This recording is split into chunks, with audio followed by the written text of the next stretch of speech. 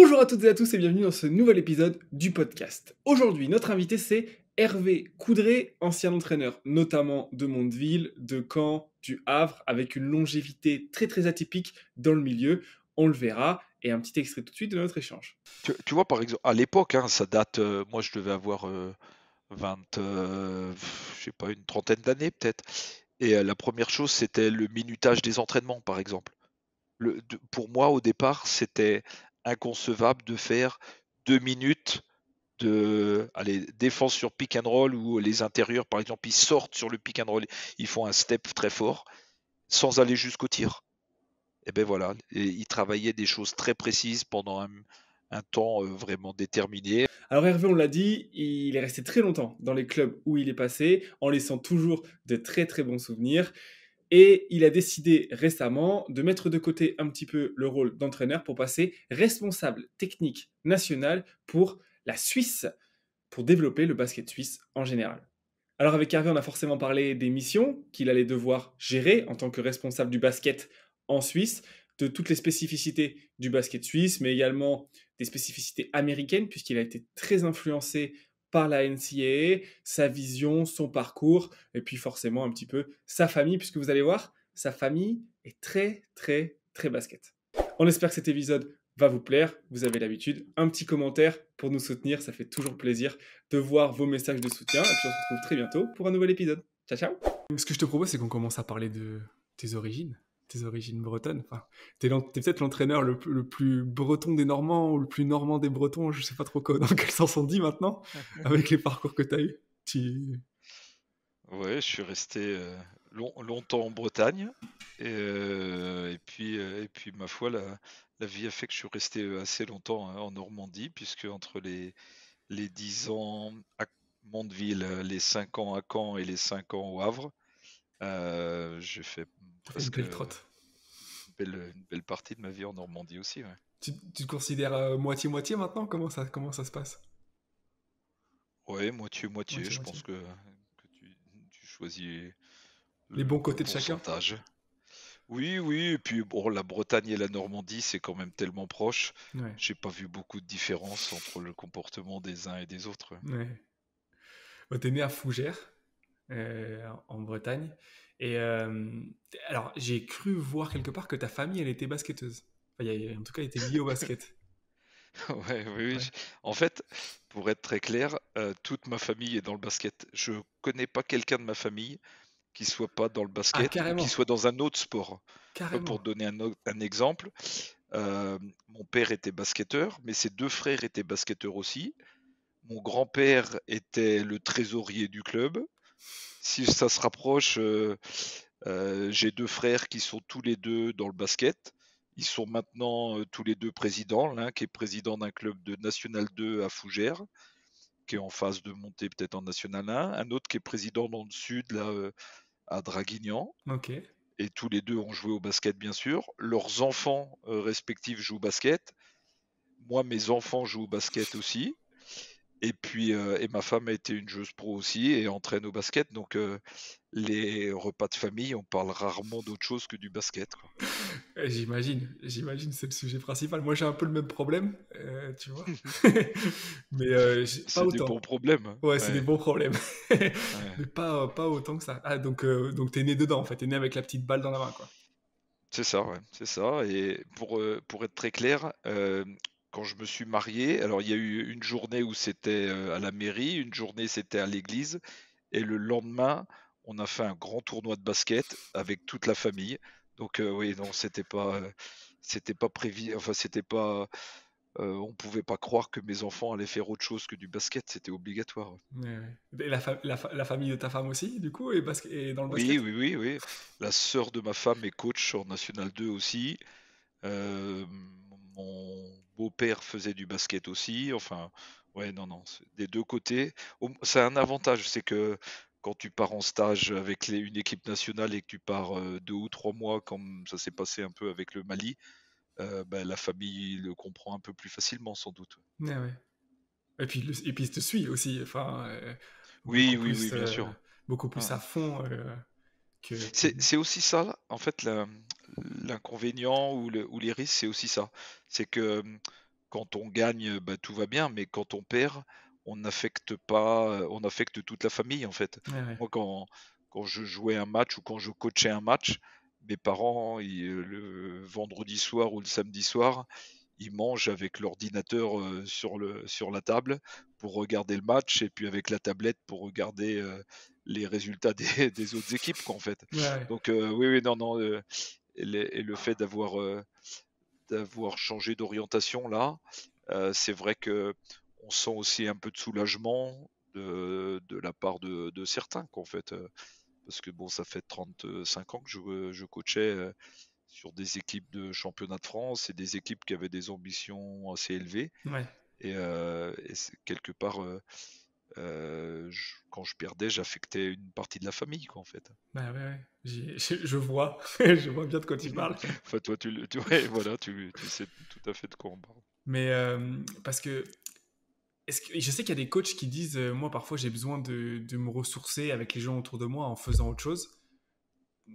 Toi, euh, tu t'arrives à faire ça ou t'es vraiment... Enfin, t'étais euh. par le passé maintenant, mais 100% tout le temps, tout le temps. Ouais, je, pense que j'étais un peu omnibulé par, par ça et, et j'avais peu de personnes avec qui me ressourcer. Enfin, s'il y en a quelques-uns quand même. Mais je, pense à un coach en particulier avec qui j'ai travaillé longtemps, qui s'appelle Jacques Verneret, et qui, qui est un peu un, un, mentor ou quelqu'un qui est, qui est un grand frère en fait.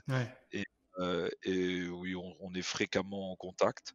Et quand je dis on est, c'est parce que on l'a été, mais on l'est toujours. Et, et même si aujourd'hui je suis en Suisse, voilà, peu importe, il, il a une oreille attentive et puis, et puis on se connaît tellement bien que c'est plus facile de se dire des choses aussi.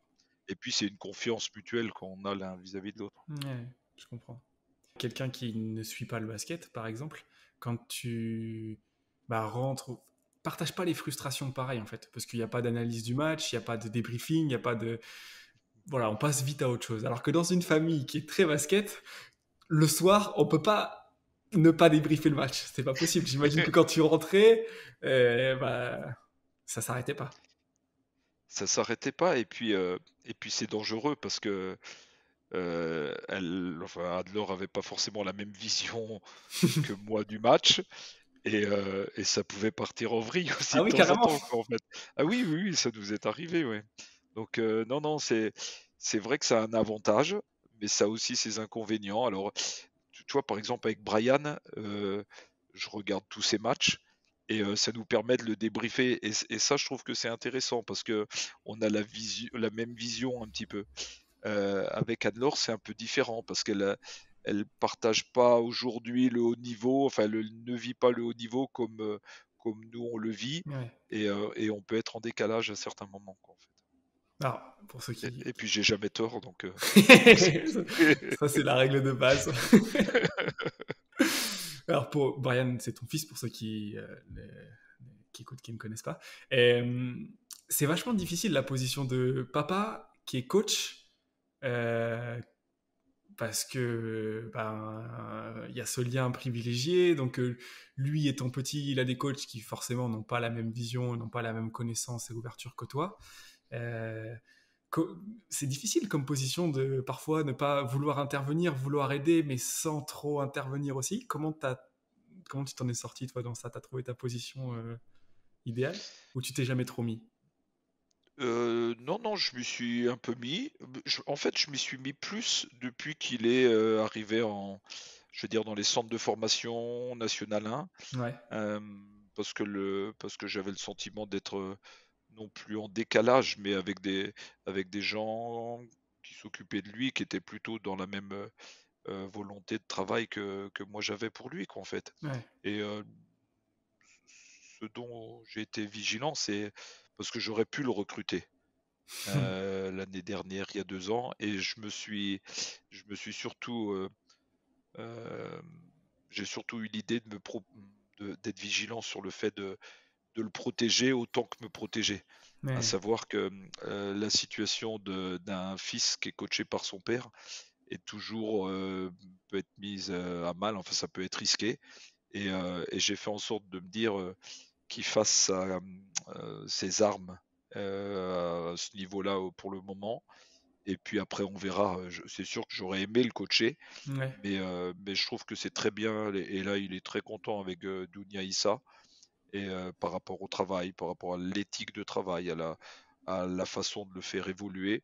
Et, je trouve que c'est la meilleure chose. Et, je regrette pas aujourd'hui d'avoir arrêté et, de ne pas l'avoir dans l'équipe, parce que ça aurait été encore une, une situation encore un peu plus compliquée pour, pour lui à vivre.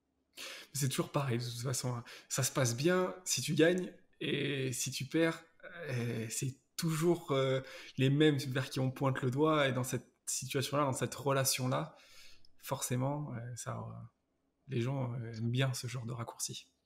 Tout à fait, tout à fait. Il joue parce que c'est c'est le père qui coach, et puis qu'il soit bon, ben, c'est normal parce que son père a confiance en lui, et puis voilà quoi en fait. Alors que souvent, je me rappelle de Doc Rivers qui parlait de ça par rapport à son fils, c'est encore pire. Au final, c'est pas plus facile pour le fils, c'est plus difficile. en, fait, euh, moi j'ai vécu deux choses. J'ai vécu le fait de coacher ma femme aussi, celle ah. qui est devenue ma femme. Et, euh, en fait, ça, on est plutôt plus dur ou plus exigeant avec les personnes qui nous sont proches, en fait. Euh, que ce soit son fils, que ce soit sa femme on, ne tolère pas d'être moyen en fait. Et, euh, il faut toujours, euh, il y a un niveau d'exigence qui est encore plus élevé qu'en fait. Et euh, donc oui, non, je pense que c'est plus difficile à vivre, sans doute pour, pour les personnes qui sont proches. Mmh. J'en ai aucun doute. J'en ai aucun doute. Mais euh, donc, du coup, tu dis dans les centres de formation que ça a commencé un petit peu à. Oui, là, j'ai commencé vraiment à m'intéresser euh, ou à suivre son parcours, euh, voir tous ses matchs, et puis qu'on ait la chance d'échanger, de, de, débriefer le match, tout simplement, quoi, en fait, et, de, et, et même en amont du match, quoi, qu'on on ait un contact assez fréquent. Enfin, on s'appelle régulièrement. Si c'est pas tous les jours, c'est tous les deux jours pour parler d'un peu comment il se sent, comment se passent les entraînements, et puis, et puis d'échanger. Et puis j'aime bien la façon de, qu'il a de, voir ou de débriefer lui-même ses matchs, et puis, et puis essayer de lui donner des idées. Hein. Lorsqu'on jouait dans le même championnat et contre les mêmes équipes, ça nous, ça nous arrivait fréquemment d'échanger un peu euh, ou nos plans de jeu ou des idées sur euh, pour jouer tel ou tel joueur ou telle et telle équipe. Je parlais avec lui un peu plus comme un coach euh, que comme un joueur, quoi, en fait. Et, sur sa position de meneur de jeu, je pense aussi que c'est intéressant pour lui dans sa progression, en fait. Voilà. je suis d'accord. Je suis d'accord. De toute façon, un meneur de jeu doit, enfin, dans ma vision à moi, hein, c'est pas une vision universelle, mais euh, réfléchir comme un coach, ça doit être un relais, ça doit être. Euh, c'est celui qui transmet la philosophie aussi d'une certaine façon. Donc, euh. Mais parce que tu as joué contre lui du coup, tu as coaché contre lui. Ça, ça s'est passé comment ça? Eh ben, En fait, ce qui est marrant, c'est que le, je me souviens surtout du premier match, parce qu'en fait, l'année dernière, j'ai joué quatre fois contre lui, mmh. avec Pontcherry, deux fois en championnat et deux fois en playoff.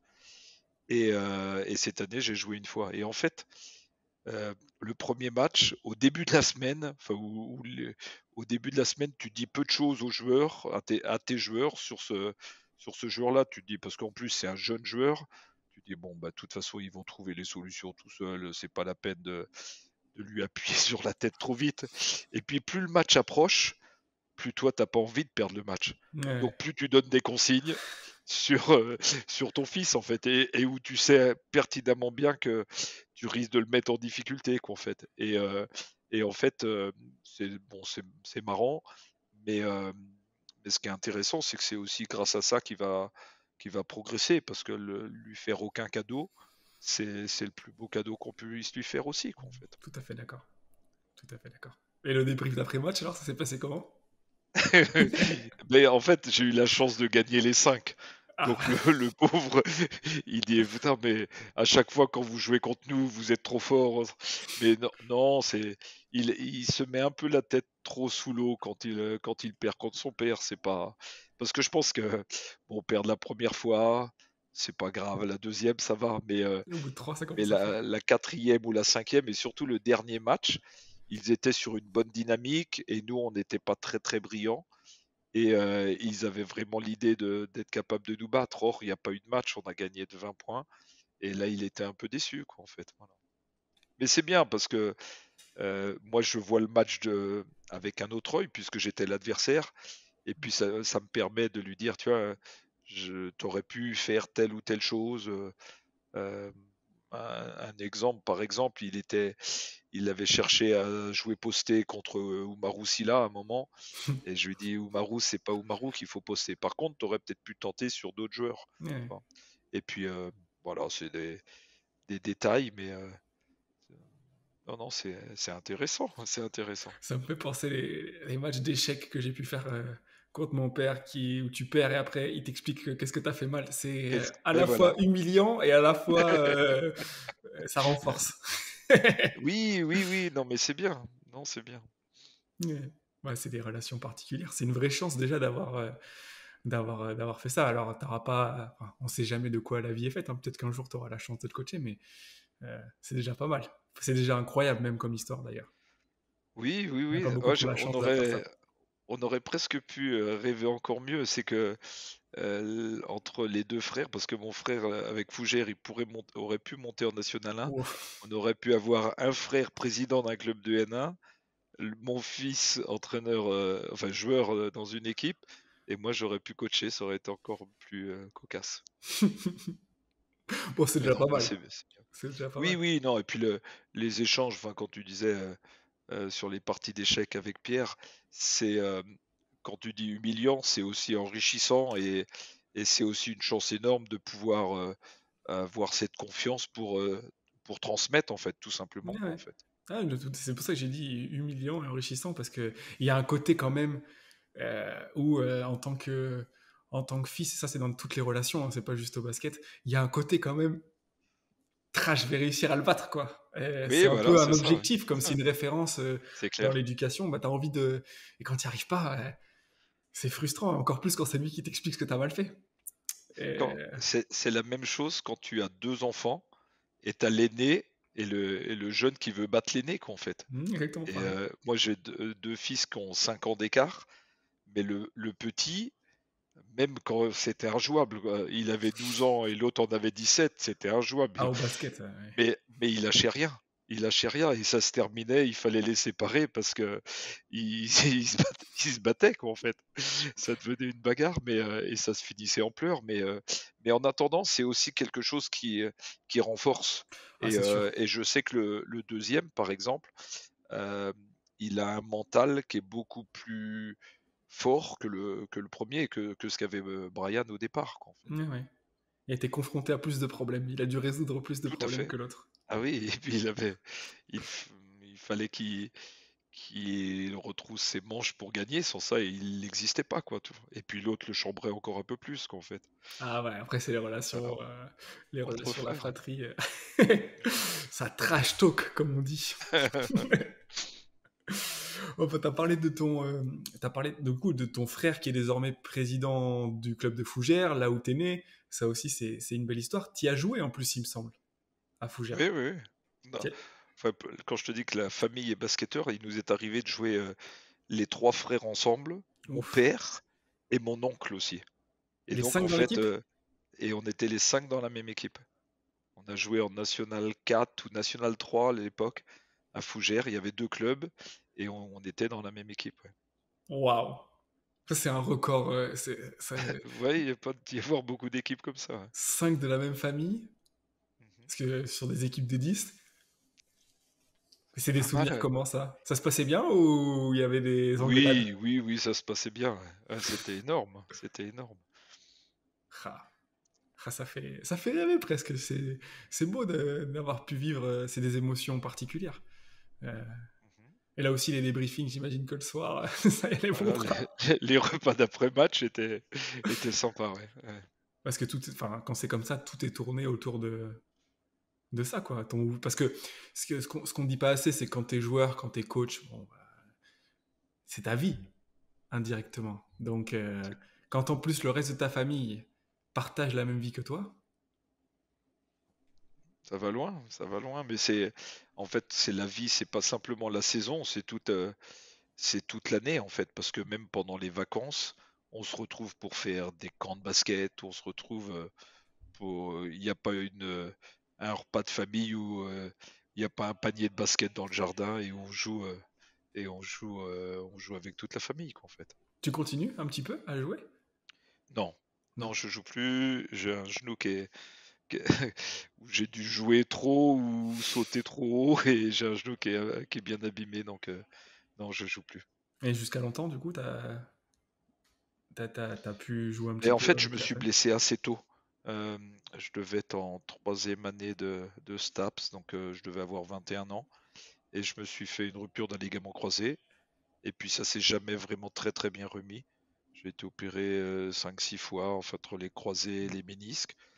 Et puis, euh, puis je, le paye un peu maintenant, quoi. En fait, euh, j'ai les, les l'articulation du genou qui est pas terrible, quoi, en fait. Oui, je comprends.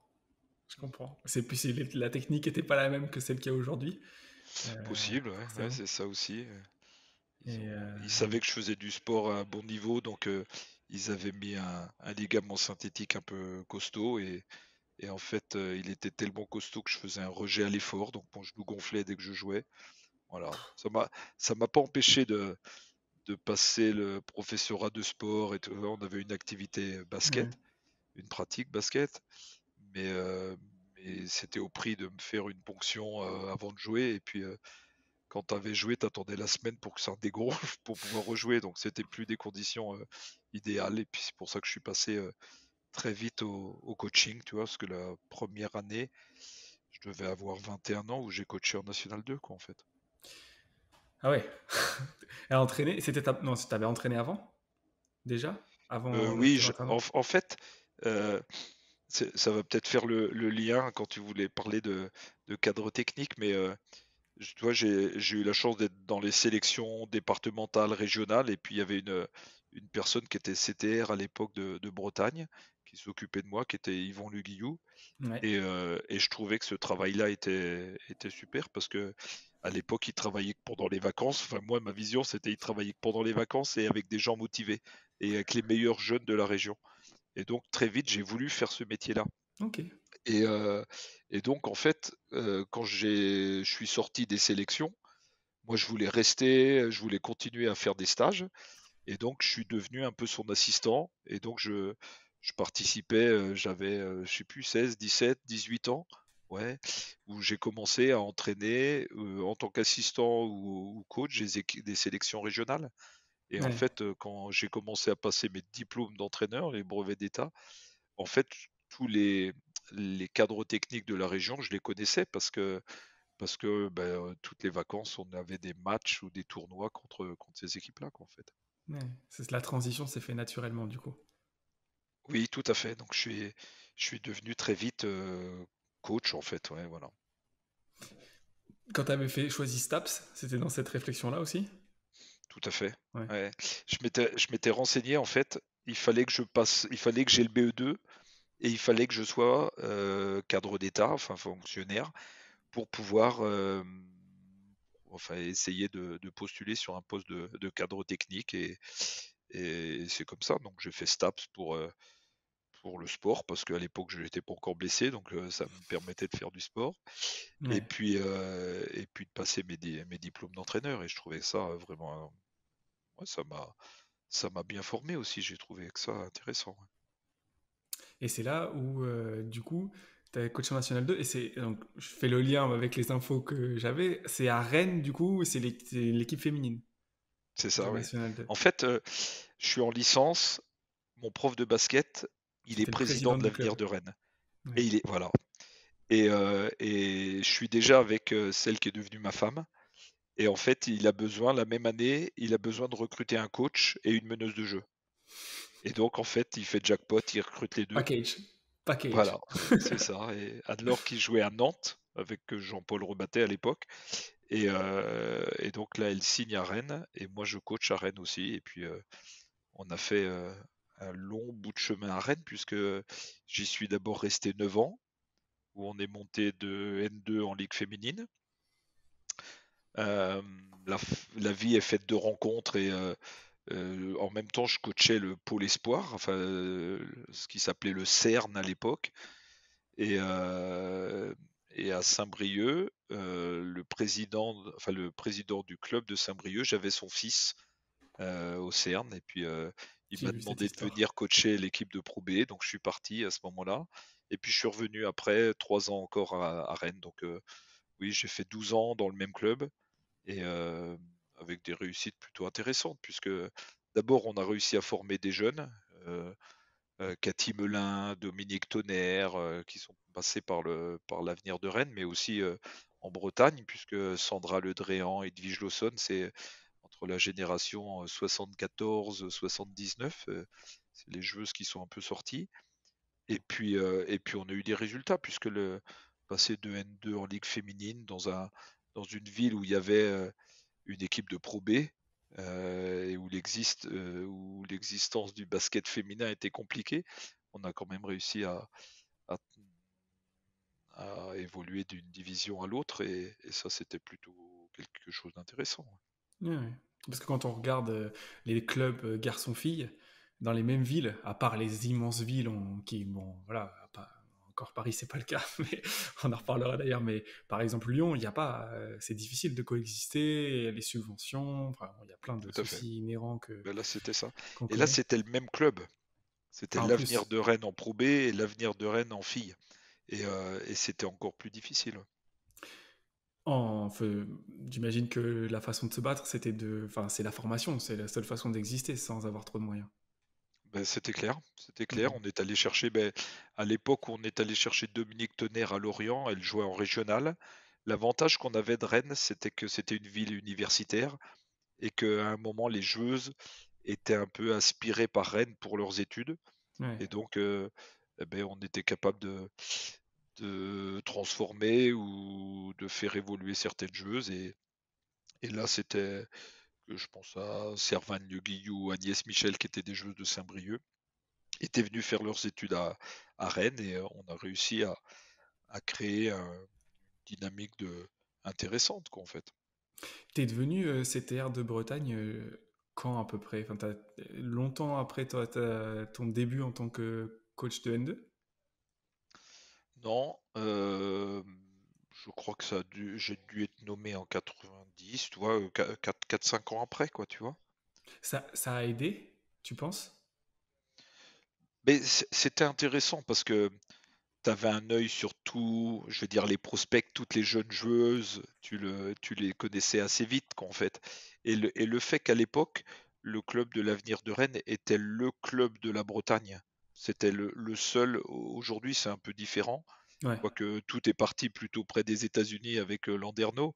Et euh, à l'époque, le, le club qui jouait au plus haut niveau, c'était euh, c'était l'avenir de Rennes. Donc c'était plus facile de récupérer les joueuses. mais oui, c'est sûr que ça m'a aidé. Ça m'a aidé pour sur des détails où tu faisais des formations d'arbitres. Donc les arbitres, tu les connaissais plus facilement aussi.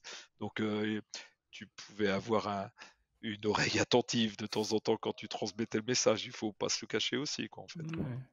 je comprends. Alors, euh, un des sujets que je voulais aborder, euh, c'est euh, le, rôle en, tant que CTR, alors, tu disais, c'est marrant que tu l'aies dit toi-même d'ailleurs. Au début, je pensais que c'était juste travailler un peu pendant les vacances, faire des stages et c'est tout. T'as appris, j'imagine que c'était pas que ça. Tout à fait. Tout à fait. Et, et, le métier a évolué aussi.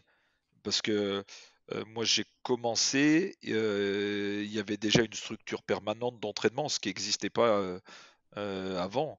La structure que, qu'aujourd'hui on appelle le pôle espoir dans les, dans les, dans les ligues, c'est une structure où les jeunes s'entraînent tous les jours, mais le, travail, il était déjà au niveau de la détection, du perfectionnement des, joueurs pendant les vacances, mais maintenant aussi sur, le, sur la structure, sur le pôle espoir.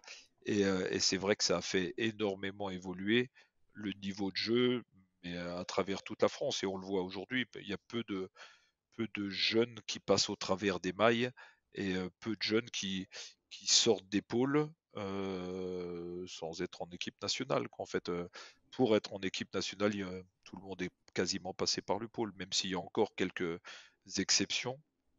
C'était, une chose intéressante, fait. Et la, et deuxième, le deuxième volet, c'était la formation des entraîneurs et, et transmettre aux entraîneurs. c'est quelque chose qui me, tient à cœur aussi, en fait.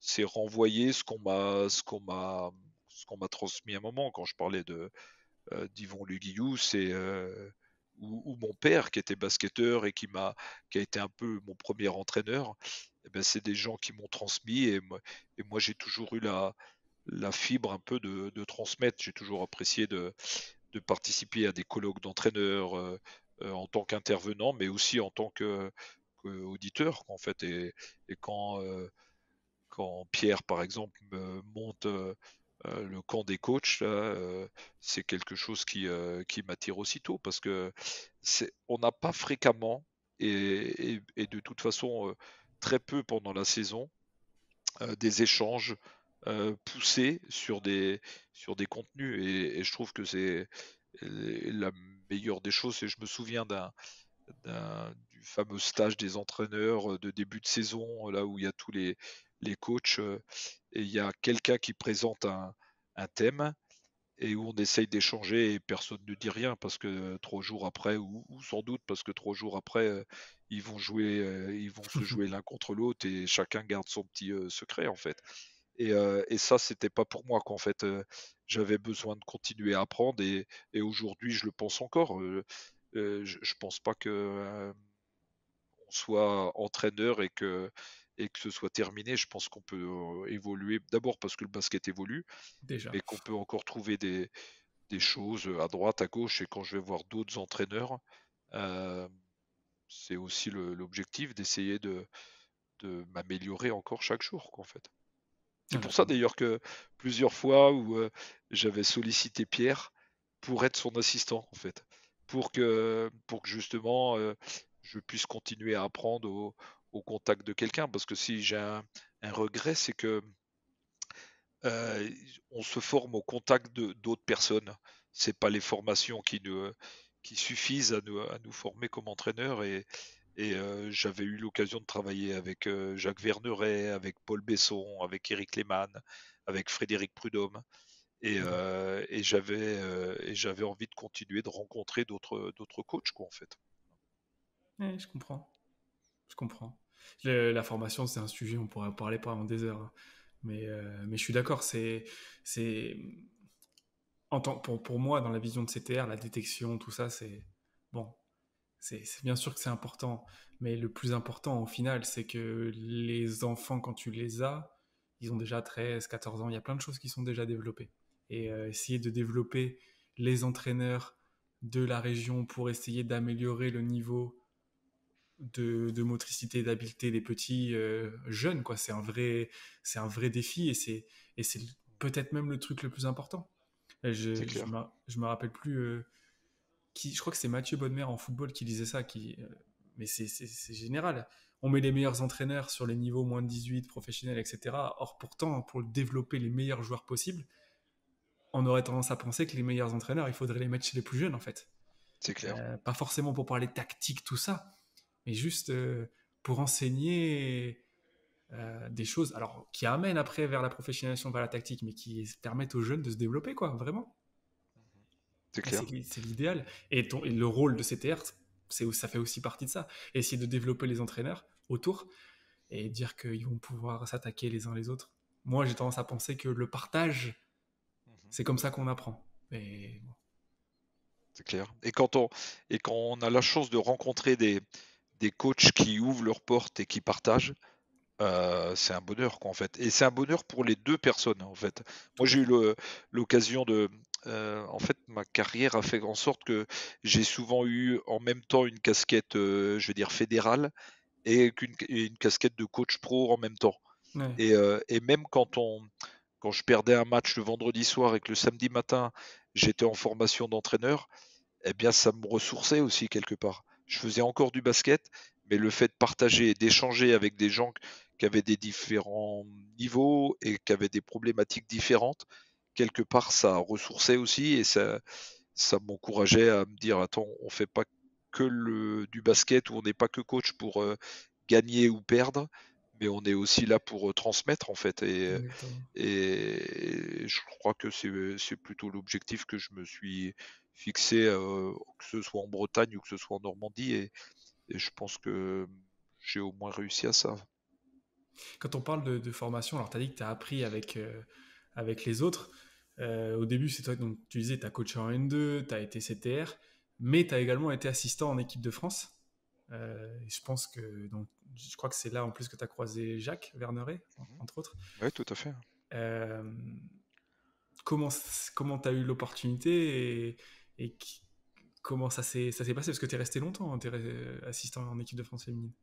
Mmh, oui, je, suis resté longtemps euh, dans le secteur féminin. comment ça s'est fait je crois que Jacques venait d'être nommé euh, responsable, responsable, du secteur féminin à la fédération et il cherchait des, jeunes coachs, enfin des jeunes cadres techniques euh, qui puissent, euh, qui puissent travailler avec lui, quoi, en fait. Et, et et il a téléphoné, il, a sans doute été le plus rapide pour, euh, pour, me, pour me solliciter. Et, moi, c'était un, projet que j'avais, en fait, euh, travailler au contact des équipes nationales, être coach d'une équipe nationale, c'était vraiment quelque chose qui, euh, qui, que j'avais à l'intérieur de moi, où j'avais envie vraiment de, de participer à, à, l'évolution du basket dans mon pays et, et de porter le, le, mot France dans mon dos, c'était quelque chose d'important, en fait. C'est un hein. honneur, ouais. Oui, et puis j'avais mon père qui avait porté le maillot de l'équipe de France, et euh, c'était quelque chose que, que j'avais envie de, de continuer, en fait. Et alors, l'expérience d'assistant est complètement différente de la, la, la, position d'entraîneur. Euh, tu es au contact, tu apprends, tu t'adaptes. Euh, tu as vu en plus passer plusieurs entraîneurs avec plusieurs philosophies différentes. Ça fait partie de la richesse, j'imagine, des choses qui t'ont construit en tant que coach. C'est clair, oui. Et puis, euh, plus que simplement l'équipe de France, j'ai eu la chance de participer, enfin de rester pendant trois mois. Toi, c'est aussi l'occasion quand tu te. Euh, j'ai pas fini la saison à Saint-Brieuc en Pro B. Et là, je suis parti trois mois à l'université de Marquette avec coach Mike Dean.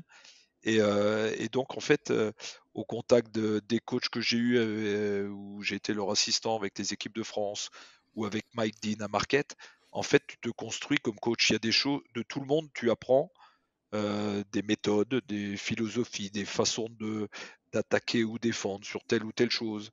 Et tu apprends des personnes, tout simplement, de la façon de, de gérer un groupe. Et, et et je pense que la meilleure façon de se, former en tant que coach, c'est en étant au contact euh, de, je veux dire, de pères spirituels, un petit peu de, de grands frères, en fait. Et, et plus que l'apprendre dans des livres, c'est aussi ces choses-là qui sont importantes. Et, et j'y attache beaucoup d'importance dans la formation des entraîneurs que, que, que j'ai essayé de former, quoi, en fait. Tu as parlé de, Mike Dean. Euh, c'est un contact que tu as eu Tu t'es dit, je me lance, j'essaye de contacter pour voir. Euh, tu es, parti sans, sans filet. Comment ça s'est passé? Non, non, non, je, ne suis pas, euh, je suis pas dans ce style. Je suis un peu organisé, structuré. Je suis un peu vigilant là-dessus. En fait, Mike Dean venait depuis des années sur un grand colloque à Saint-Jean-de-Bray. Et, comme j'étais passionné de basket, euh, dès qu'il y avait un colloque intéressant, j'essayais d'y aller. Et donc, euh, avec Jacques Verneret, Asdine Labuise, qui connaissait Mike, un jour, euh, Jacques sait que j'ai plus de club puisque j'ai arrêté Saint-Brieuc. Et puis il me dit, maintenant, qu'est-ce que tu veux faire? Je dis, bah, il me dit, tu devrais te ressourcer. Il me dit, tiens, pourquoi tu n'irais pas passer un moment aux États-Unis avec Mike? Et puis voilà, quoi. J'appelle Mike, et Mike me dit bah, bien sûr, ne te tracasse pas, il y aura quelqu'un qui te récupérera à l'aéroport. Et j'arrive à l'aéroport à Milwaukee, il y a un de ses assistants qui est là, qui est avec un gros sac de basket, avec des tenues, et il me dit bah, tiens voilà, tu es avec nous pendant trois mois, ça c'est tes équipements. Et, et, en fait, le lendemain, je suis sur le terrain avec eux comme assistant, comme manager. Au départ, tu fais que les passes ou, ou peu de choses. Et puis progressivement, tu, euh, tu prends un peu plus d'importance parce que tu, tu, connais un peu sa philosophie, comment il fonctionne. Et, et ça, c'est moi, c'est la meilleure expérience que j'ai eue. En fait, je regrette d'avoir coaché très vite en Pro sans être passé par, par cette case-là, par exemple, parce que j'ai eu l'impression à un moment de d'un petit peu réapprendre le basket ou, ou, surtout apprendre une autre méthode. Je connaissais la méthode française et là, ça m'a permis d'apprendre une autre méthode. Et en plus, ce qui est fascinant avec ça, c'est quand tu ouvres une porte sur d'autres cultures, sur d'autres façons de faire, une seule, il y a toutes les autres après. C'est-à-dire qu'il y a l'américaine, mais après ça tout sur, euh, mais attends, si eux ils font comme ça, alors que nous on fait comme ça, comment ils font les autres? Bien sûr, bien sûr. Ah non, non, non. Et puis, euh, un des regrets, c'est par exemple de ne pas avoir ouvert les portes euh, en Espagne, alors que j'avais eu l'occasion de rencontrer Anna Montagnana, par exemple, qui, qui m'avait proposé d'y aller et j'ai pas pris le temps d'y aller, quoi, en fait, parce que lorsqu'on continue à coacher, en fait, on est pris, je je vais pas dire 365 jours par an, mais pas loin. Et, alors que là, j'avais l'opportunité et rester aussi longtemps avec Maïdine, c'est quelque chose vraiment de d'hyper enrichissant. J'ai souvent été aux États-Unis, mais j'y passe huit jours, un moment où je passe huit jours avec un coach. C'est encore différent que lorsqu'on y passe une longue période. Bah oui, tu as vraiment le temps de t'acclimater, de voir, de comprendre sur le long terme ce qu'il fait, bien sûr. C'est quoi qui t'a surpris le plus quand tu es arrivé? À part les installations, tout ça, parce que forcément, aux États-Unis, c'est. Bon.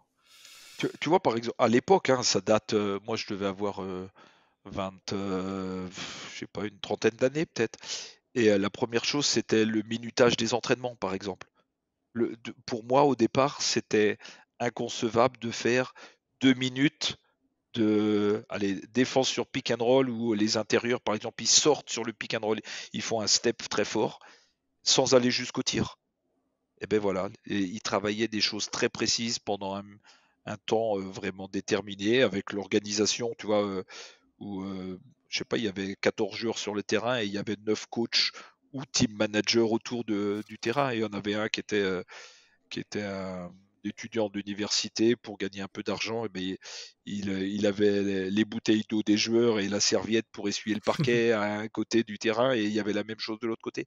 Non, c'était leur, leur, organisation et, et, que chacun était capable de travailler ensemble. Chacun avait son job et ils se marchaient pas les, les uns sur les autres, en fait. Et alors que aujourd'hui encore, on est, quand tu travailles en staff, euh, c'est pas toujours très facile euh, d'accepter son rôle. Et là-bas, c'était accepté en fait. Et, euh, et voilà, c'était une des choses qui m'avait qui m'avait marqué quoi en fait. C'est des choses que tu as, as, pris, que j'ai repris. Avec toi? Ah oui, 100%. Ah oui, je pense qu'à un moment, on a dû, on a dû penser que j'étais un peu devenu un coach ricain parce que j'avais sûrement fait beaucoup plus de copier-coller, au même titre d'ailleurs que lorsque j'ai travaillé avec Jacques Verneret à un moment. Et euh, l'étiquette Verneret dans le dos, je l'ai portée et je la porte sans doute encore euh, dans mon dos, quoi, en fait. Mais euh, parce que peut-être que, tu sais, quand tu es un jeune coach, tu copies et des fois tu fais un peu plus blanc que blanc, comme disait Coluche, quoi, en fait. Voilà. Et, et mais quelque part, c'est aussi, c'est aussi, quand tu choisis les bonnes personnes, c'est aussi enrichissant, quoi, en fait. Et, et ça te permet de, de bien évoluer. Non, mais c'est, c'est tellement passionnant de récupérer des choses. Mais parfois, tu, tu récupères et tu copies sans forcément comprendre le sens qu'il y a derrière. C'est un peu le, la limite. Ou en tout cas, tu ne comprends pas totalement. Pas dire jusqu'à dire que tu comprendras pourquoi, mais toutes les, les nuances. Et, et, en fait, tu le fais pas euh, volontairement, je pense. Tu parce que tu tu sais pas le, le côté négatif de cette, de cette manière de fonctionner. Et c'est plus tard où tu te dis, tiens, euh, là j'ai peut-être fait too much, quoi, je suis allé trop loin. Et, euh, et, et, là, après, tu es capable de réguler, mais il faut, il faut le temps de d'être capable de, oui, de digérer un petit peu ça, en fait. Et au départ, on le, on le fait pas comme ça, en fait tu disais on allait me prendre pour un coach Ricard. Je sais pas comment, parce que quand je, prépare des interviews, je regarde plein de vidéos et plein d'articles. Je suis tombé sur une image d'une des anciennes joueuses quand tu es arrivé à Mondeville en 2002 qui disait Ah, c'est pas pareil que l'année dernière, ça c'est sûr. c'est un peu plus intense, c'est un peu plus. voilà quoi, on rigole moins. Et puis là, en plus, elle passait sans doute d'un Igor Groudin, qui était quand même euh, une personnalité avec sa façon d'être, qui venait de la Russie, et il passait à Hervé Coudray, qui était de l'inspiration euh, américaine. Donc c'est vrai que le choc des cultures était, important, oui, sûrement. T'as, eu, euh, donc du coup, tu dis que tu t'es beaucoup influencé des Américains. Il y a, y a d'autres, d'autres cultures dont tu t'es beaucoup influencé? T'as le droit de dire non. Hein. Ouais, non, je crois pas. Je, suis surtout euh, basket américain. Bah, il faut pas. Euh, quand je dis basket américain, c'est basket universitaire américain. Ah ouais, voilà. Ça a toujours été comme ça? T'as toujours été Tout à fait. par ce qu'il ouais. Oui, et puis, et puis après, plus tard, avec le mais ça c'est par rapport à ma disponibilité, euh, la WNBA, puisque tous les étés je partais aux États-Unis euh, et, j'ai pu passer du temps avec les Chicago Sky, avec les Washington Mystics, avec les Connecticut Sun, à San Antonio, à Houston. Donc euh, en fait oui j'ai j'ai passé beaucoup de temps parce que c'était au mois de juillet ou au mois de juin j'avais du temps disponible et pas la possibilité de, voir de la NBA. Et les trois mois où j'ai passé, que j'ai passé à Marquette, par exemple, j'ai pas vu du tout de NBA parce que c'était le lockout à l'époque. C'était la mauvaise année. Et bon, on jouait au Bradley Center, mais euh, mais il n'y avait pas de match, il n'y avait pas d'entraînement, il n'y avait rien. Donc euh, non, c'est universitaire et, et, WNBA. Et puis après, euh, la, chance d'avoir eu Mike Thibault, qui était l'assistant des, d'abord qui a été assistant de l'équipe des, États-Unis en fille, qui est venu avec, euh, avec les équipes des, avec l'équipe des États-Unis seniors faire un stage à, comment, à Mondeville. Et donc bah là, je dormais dans la salle parce que entre les entraînements de Mondeville plus les entraînements de, l'équipe de Team USA, bon, ben, voilà, ça m'a permis de, voir comment travaillait l'équipe des États-Unis et puis de créer des contacts avec, avec Mike Thibault et, de, et de le suivre quand il était à, pas à Yukon, mais à Connecticut Sun ou à Washington Mystics. Et voilà, ça permet de créer un réseau et, et de pouvoir se ressourcer, de voir d'autres personnes travailler, quoi, en fait. Alors, Mike Thibault, il t'a vu, toi, entraîner, évoluer? Il a été en France ou il était dans son truc à lui? Quand il était, quand moi j'étais à, à, comment, à Mondeville, il est resté regarder des entraînements. Moi, il y a une question qui me fascine toujours euh, et que je me pose dans toute situation, mais du coup, là, en l'occurrence, elle m'intéresse encore plus, c'est les autres, quand ils viennent nous voir, quand ils viennent voir les entraînements, quand ils viennent voir comment on joue, qu'est-ce qu'ils se disent Tu vois? C'est quoi les remarques? C'est quoi les... Qu'est-ce qu'ils remarquent? Et qu'est-ce qui, qui l'a surpris, choqué? En fait, je pense que d'abord, ça dépend des personnes qui te regardent. Tu vois, euh, quand on va euh, à certains endroits aux États-Unis, on nous prend quand même un petit peu pour des, je veux dire, des demeurés ou des trucs pas terribles, en fait. Mais ça dépend des personnes. Euh, Mike Dean, Mike Thibault, qui sont des bonnes personnes, et, et ils voient, enfin, j'ai l'impression qu'ils fonctionnent un petit peu comme moi j'ai fonctionné, mais même en restant en France. Euh, je pense qu'on peut apprendre de tout le monde. Mmh. Et, eux, ils avaient cette idée-là aussi. Donc quand ils venaient, euh, je, pense que le basket, même si je me suis inspiré du basket américain, on est latin en fait. Et la lecture de jeu, la, compréhension du jeu, c'est des choses qui sont sans doute un peu plus développées à certains endroits en Europe, je veux dire, plutôt qu'aux États-Unis où, où, on dresse un peu, où on apprend un ou deux moves pour un joueur intérieur et le joueur il doit le faire de la meilleure des façons possibles, mais avec, je vais dire, peu de créativité autour, ou alors euh, il faut vraiment taper le, top level, enfin les, meilleurs. Euh, et, je crois que c'était ça qui les intéressait aussi de regarder comment nous on fonctionnait, parce qu'il y avait sûrement des choses intéressantes à prendre et à, pour compléter leur, leur façon de, de, faire, sans doute. Et, je ne sais pas si je lui ai apporté quelque chose, mais le fait qu'on soit resté en contact et d'échanger euh, ensemble et, encore très, il y a encore très peu de temps, euh, c'est quelque chose qui, qui me dit que bah, il a sans doute pas perdu tout le temps son temps quand, quand on est allé, quand on a échangé ensemble, en fait. c'est sûr que non. C'est sûr que non. Mais il y a des choses qui sont dans les cultures qui sont ancrées. Euh, tu vois, par exemple, si là maintenant on va dans une salle en Lituanie, on va voir des petits, des jeunes jouer, par exemple, il y a des habitudes ancrées que, qui sont, que toi tu remarques parce que c'est pas les tiennes.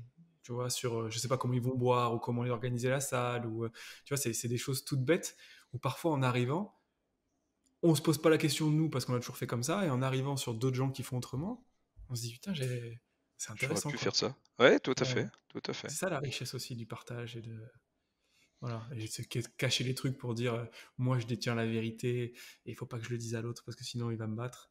Bon, j'y crois beaucoup moins. c'est déjà tellement compliqué de transmettre un truc que toi tu as vu à un joueur parfois que bon, enfin. Enfin bref.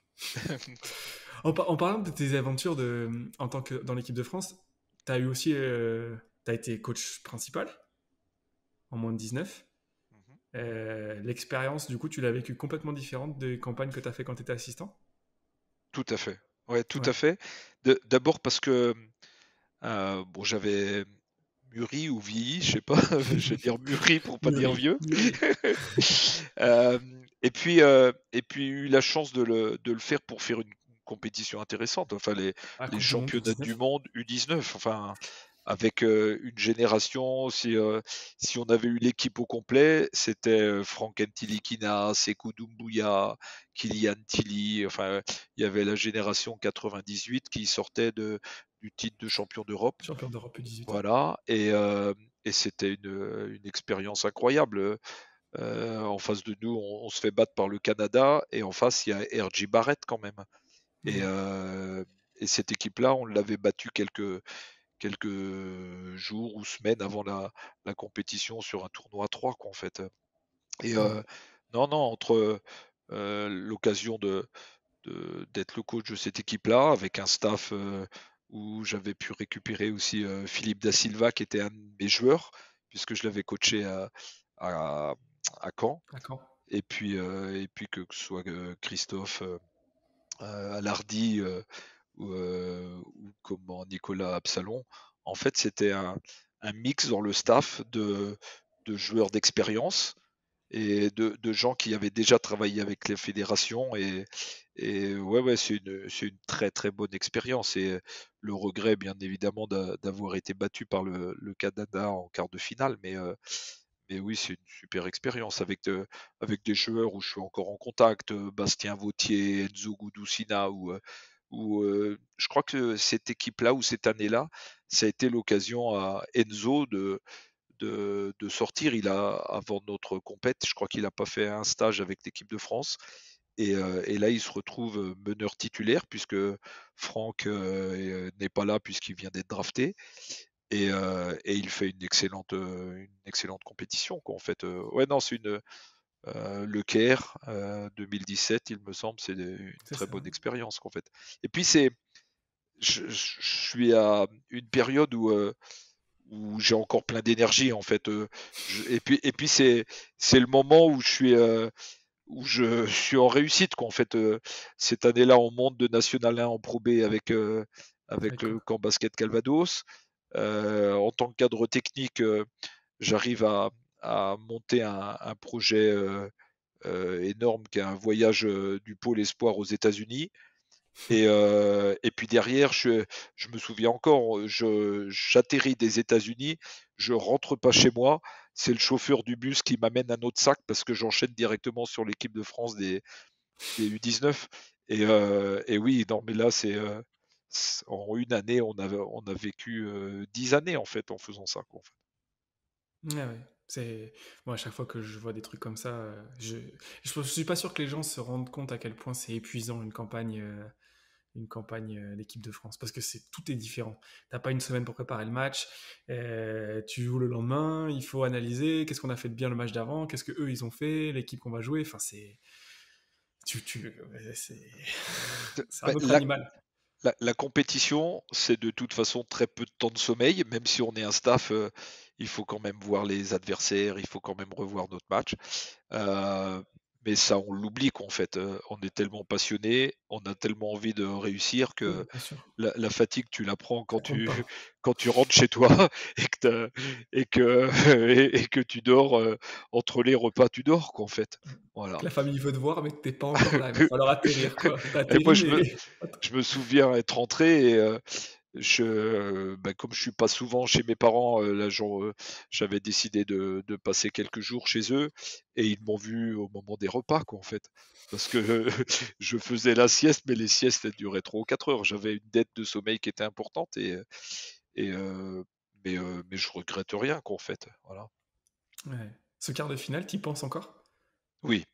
Ouais, ouais, ouais. je, je me, je me rappelle encore de trop de choses pour. Euh, euh, ouais, surtout que on avait fait le match qu'on voulait faire 8 euh, ou 10 jours avant sur cet adversaire-là, et, et on n'a pas été capable de, de le reproduire lors des quarts de finale. Et on n'était pas loin, et on n'était pas loin, mais Parce que lui, il a fait un match monstrueux. tout à fait. Et malgré ça, ça se joue à pas grand-chose, quoi. Tout à fait. Malgré le fait qu'il était stratosphérique. Kylian, avait, Kylian Tilly avait fait un très gros match aussi. Mm. Mais euh, bon, voilà, on n'a pas été, euh, on n'a pas eu suffisamment de, euh, de joueurs présents à ce moment-là sur ce match-là. Et d'autres l'ont été sur d'autres matchs, mais pas sur celui-là, en fait. Alors, je sais que c'est une question déjà pas très agréable et en plus difficile à répondre. Mais sur l'échelle de ta carrière, sur le classement des regrets, des trucs sur lesquels qui te font euh, parfois te réveiller la nuit. T'en as, as d'autres ou c'est lui le numéro 1 Non, il y en a d'autres. Euh, il y a une, une, finale de Coupe de France avec Mondeville. Mmh. Voilà. Euh, et puis, et puis il y a l'échec de la montée la première année à Caen, où on gagne 25 matchs sur 26. Et en national, pour monter de National 2 en National 1, tu, euh, même si tu fais 25 sur 26, tu as un playoff entre 2 et 1. Et, et euh, je me souviens que on joue euh, Jet Vosges en, on va dire en quart de finale, qu'en fait, puisqu'il faut gagner le quart pour, pour monter. Et on perd le premier match là-bas après prolongation. On gagne le deuxième de, de 28 ou 30 points le vendredi et on les rejoue le dimanche. Et là, il y a Pierrick Monkanga qui, qui, marque un tir sur le buzzer qui nous fait perdre et, nous empêche de monter en National 1 juste derrière. ça lui permet de me chambrer encore quand, je le croise. Mais non, non, non. Tu, vois, il y, en a des défaites dans un. Mais c'est aussi des moments qui nous renforcent en fait.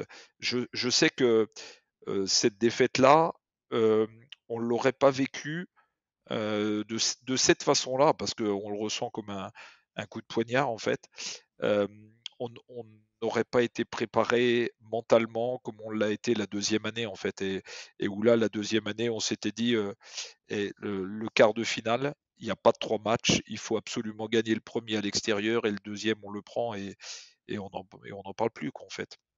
Voilà, donc, donc, là je t'en ai dit trois. Il y, en il y aurait peut-être une quatrième, c'est ma première année au Havre où, euh, au bout de 55 matchs, de, euh, on, joue la finale au troisième match contre Saint-Quentin.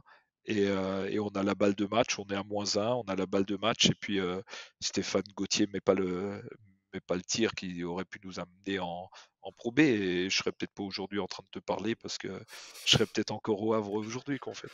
On aurait parlé, mais on n'aurait pas parlé avec le même recul. Tout à fait.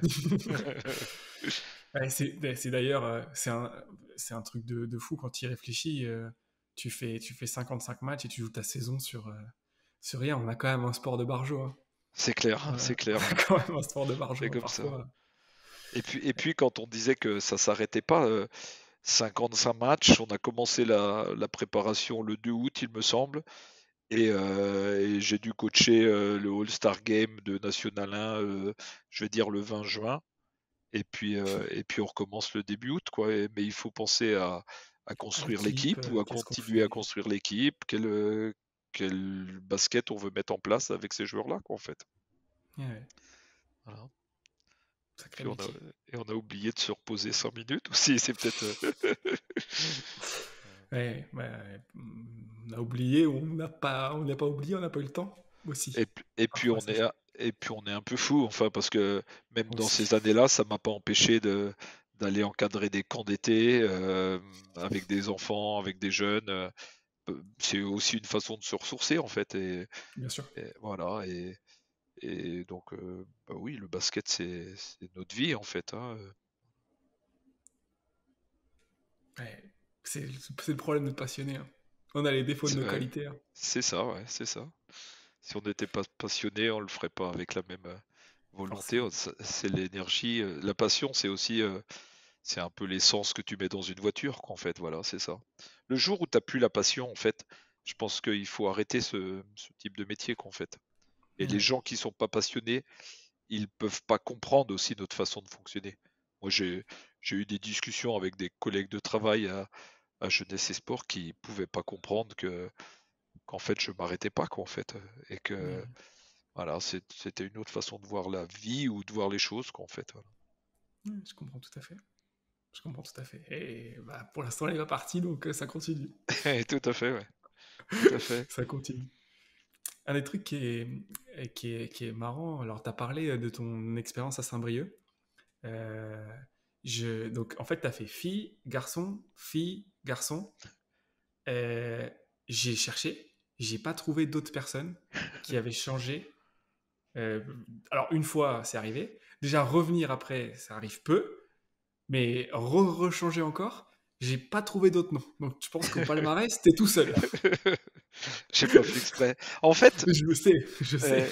en, fait, je crois que c'est aussi euh, la vie, c'est aussi faite de rencontres. J'ai dit tout à l'heure, c'est euh, les filles. Si j'ai pas le prof de PS, euh, enfin ou le prof de basket qui s'occupe du club de l'avenir de Rennes, peut-être que je coach jamais des filles.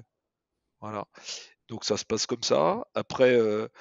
Euh, Jacques euh, s'occupe des équipes de filles. Euh, il veut que je vienne avec lui, donc je reste chez les filles. Voilà. Et puis, s'il n'y a pas le, président de Saint-Brieuc, voilà, je parle peut-être pas chez les garçons. Je suis revenu chez les filles. Après, à, à Mondeville, bah, c'est la continuité de Rennes, en fait. Mondeville est monté une année avant, avant Rennes en Ligue féminine. Le président euh, se souvenait un peu du coach qui l'avait embêté, mais qu'avait, il avait fini par réussir à monter, mais euh, Daniel Dufour s'en souvenait. Euh, pour, pourquoi les garçons? Eh bien, Thierry Godefroy, qui est un partenaire de Mondeville, qui, qui s'éloigne de Mondeville et, et, qui est rejoint par Nicolas Batum, qui, où ils vont, ils ont la volonté de, de, faire revivre un peu le, basket canet qui est, en National 2 et qui n'est pas très, très bien en forme. Euh, et ils viennent me rechercher parce que Thierry Godefroy a déjà travaillé pendant 10 ans avec moi à Mondeville. Voilà, et puis, euh, et puis après, je pense que je me suis toujours engagé dans des projets où euh, je connaissais des personnes et j'avais confiance dans ces personnes-là. et puis c'est pour ça que je me suis engagé, que ce soit euh, on n'a pas trop parlé du, basket africain, mais le Mali, c'est la même chose. C'est que euh, j'ai eu la chance de coacher euh, Amchetou Maïgaba, qui était la meilleure joueuse malienne à Mondeville. Et à l'époque où, où le président, enfin où le, ministre des Sports, puisque entre le président de la fédération ou le ministre des Sports en Afrique, de temps en temps, c'est plus le ministre qui, qui, décide que le président, ou à, ou à cette époque-là en particulier, surtout qu'il avait été président de la fédération et était devenu ministre des Sports, puisqu'il s'agit d'Aman Nyang, qui est le président de FIBA Monde maintenant. Et ils ont l'idée de changer le coach. Ils sont plutôt sur un espagnol et un serbe, et puis c'est Amchitou qui, euh, qui est un peu mon agent à ce moment-là, puisqu'elle dit au ministre Mais pourquoi tu prends pas mon coach qui était avec moi à Mondeville en fait? Et voilà, c'est. Et donc, en fait, euh, mon parcours en fait a été fait de, de l'idée de relever un, le défi ou de relever le challenge, mais, euh, mais avec des, des personnes qui m'étaient chères ou en qui j'avais confiance. Quoi. Et en fait, et j'avais envie de, de me battre avec eux dans ce challenge-là, quoi, en fait. Tu es resté longtemps dans quasiment tous les clubs, ce qui est pas du tout habituel pour un coach. Euh, j'imagine que c'est lié à ça, mais du coup, est-ce que tu as rejeté des projets parce que tu le sentais pas, parce que tu n'avais pas cette personne-là de connaissance? Non, ça s'est pas trop produit, je pense pas. Non, j'ai pas, j'ai pas eu l'occasion de, de refuser un projet. Non, parce que non, non, non, parce que le, je pense, euh, par exemple, euh, il y a un moment, j'ai été sollicité par l'équipe du, du Canada pour, euh, pour m'occuper de l'équipe nationale filles et j'y serais allé en fait. Et pourtant, je connaissais pas, je connaissais pas grand monde. Ça a été aussi pour l'équipe nationale de Hongrie. Ça s'est pas fait, mais, euh, mais j'y serais allé pour l'aventure. Et euh, donc là, c'est vrai que mes projets, que ce soit à Caen, euh, à Mondeville, j'y suis allé. Je connaissais quand même pas grand monde aussi. Mais, j'y suis allé. Alors, parlons-en de Mondeville. Du coup, c'est quand même un club où tu es resté. Genre, je sais même plus, c'est 9 ans, je crois. 10, ouais, 10 ans. 10 ans. Deux fois 5. Ouais. ouais. Donc, euh, on peut dire que tu as remarqué l'histoire euh, de, ce club-là qui est, qui est un club à part, en fait. Quand tu regardes le parcours de, la Ligue féminine, pour plein de raisons euh, économiques, par le fait que voilà, il y a eu beaucoup de joueuses qui sont sorties aussi de, de, de ce centre de formation-là, de ce club-là. C'est un club qui est devenu historique maintenant de la Ligue féminine pour ça. Et tu as fait en grande partie partie de ça. La question que je voulais te poser, c'est pour toi, euh, le succès de Mondeville, d'où il, d'où il vient? C'est euh, pourquoi vous avez réussi à créer cette structure qui, euh, même aujourd'hui où elles sont descendues, les filles, elles sont en ligue féminine, de, il y a quand même un centre de formation, il y a quand même des joueuses qui, au niveau jeune, écrasent tout. je crois d'abord c'est c'est dans l'ADN du club. La formation, c'est pas Hervé Coudray, c'est euh, le président, je veux dire Daniel Dufour, qui, euh, qui a eu cette volonté-là parce que de toute façon, euh, il savait que sans la formation, il n'aurait pas pu atteindre le, plus haut niveau. Et puis des, des coachs qui ont été dans cette dynamique-là. Je pense que le, le premier qui a fait monter l'équipe de régionale en Ligue féminine, c'est Dominique Calbry, Mmh. Euh, qui en fait euh, s'occupait des U15 du club et en fait il les a amenés au plus haut niveau. Je pense euh, à Carole Delaunay, à Dorothée Trégoat, à Caroline Malon, ça, ça devait être son nom de jeune fille, je crois, mais peu importe. Caroline l'enfance, je crois que c'est plutôt son nom de mariée maintenant. Et c'est rare dans un club d'avoir autant de jeunes du club qui arrivent à monter en même temps que l'équipe et à atteindre le plus haut niveau. Euh, et, ça, c'était, la volonté du club. Et la, deuxième chose, c'est euh, que Emmanuel Curé, qui était l'entraîneur du centre de formation pendant longtemps, euh, ait eu la volonté de, de continuer à travailler dans cette, sous cette forme-là.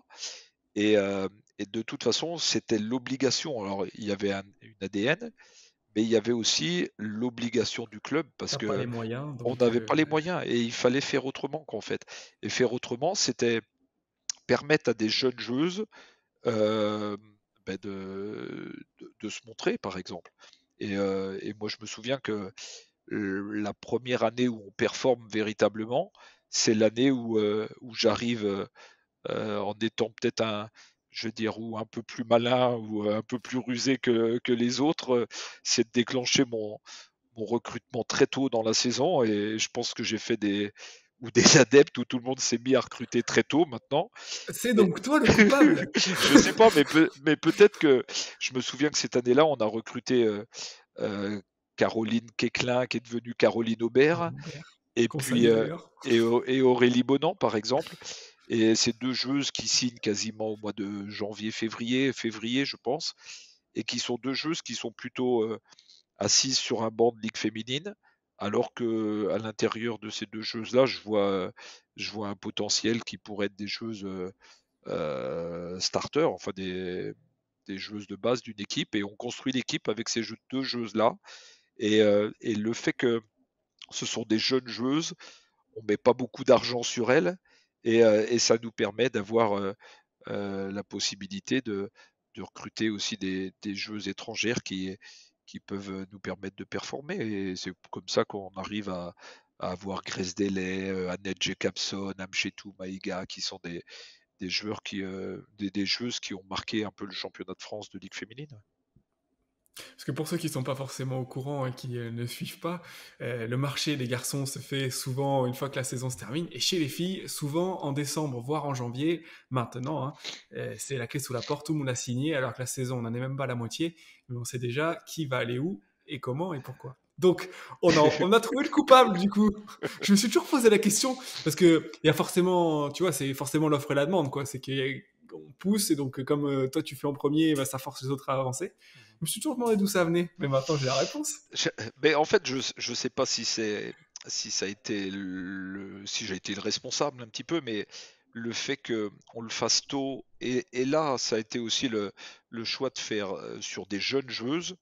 Euh, c'est sûr que là, ça nous a permis de, de, vivre de très très belles années avec euh, avec Mondeville et parce que le, que ce soit Caro ou que ce soit Aurélie Bonan sont, ont été des joueuses de club et sont restées longtemps sur sur Mondeville, ce qui a permis de euh, bah, qu'elles évoluent, puisque Caro est arrivée, elle jouait pas beaucoup en ligue euh, féminine, et quand elle est passée euh, à Mondeville, elle a permis de, elle a trouvé le moyen d'être en équipe nationale quand même, et, Aurélie pareil. Donc le club a, progressé au même niveau qu'elles, elles ont progressé en fait. Et, et les deux juxtaposés nous ont permis de, de vivre des super expériences en Euroleague, euh, de super soirées d'Euroleague à, à Mandeville. Parce que le problème de la formation, c'est ça, c'est que tu les récupères pour pas trop cher quand elles sont jeunes, mais vite, dès que tu les fais performer, il y a des sirènes autour qui arrivent pour venir récupérer les joueuses avec, euh, avec un budget qui est bien supérieur, avec des choses que tu peux pas combattre. Donc que des filles comme ça restent, j'imagine en plus en refusant des offres euh, plus importantes, mhm. c'est ça veut dire beaucoup, un, de leur personnalité à elles, mais de l'attachement qu'elles ont à l'institution et au club, quoi. Tout à fait. Euh, en fait, il y a deux choses. Tu peux les retenir, en fait, pas complètement, mais tu peux les retenir à partir du moment où toi tu progresses, le niveau de l'équipe progresse en même temps. Tu vois, euh, Caro est arrivé, on jouait la Coupe d'Europe, mais qui était ce qu'on appelle l'Eurocup aujourd'hui et elle a progressé. Et nous, on, a eu la possibilité de se qualifier pour l'Euroleague.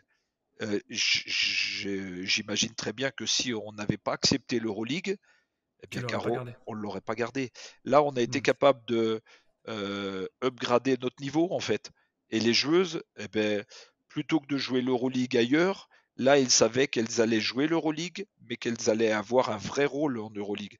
Et, et c'est aussi pour ça qu'on a été capable de les, de les conserver assez, assez longtemps en fait. Et, euh, et, on le voit en fait, euh, quand un club descend, ben, les joueuses elles partent, ou quand le club il stagne alors qu'il y a des joueuses qui performent, et eh ben, c'est plus compliqué de, de, les garder. Et même si tu mets d'argent, la joueuse elle, est, elle a la volonté de découvrir l'Euroleague, elle a la volonté de rester en Euroleague quand toi tu y es plus quoi, en fait. Ah Ce qui est compréhensible. tout à fait, tout à fait. logique. Ouais c'est une, belle page, en tout cas, euh, j'imagine, de, ta carrière. Enfin, c'est le moment où tu es arrivé en Normandie, du coup, Mondeville. Mhm. Et euh, en ce moment-là, j'imagine que tu savais pas que tu allais rester aussi longtemps. Ah, pas du tout, euh, pas du tout. non, non, non, non. alors, pour ceux qui savent pas, en plus, Mondeville, c'est juste à côté de Caen. Mhm. Bah, c'est dans la banlieue, donc quand tu es passé de l'un à l'autre, tu pas, pas fait un énorme saut, quoi.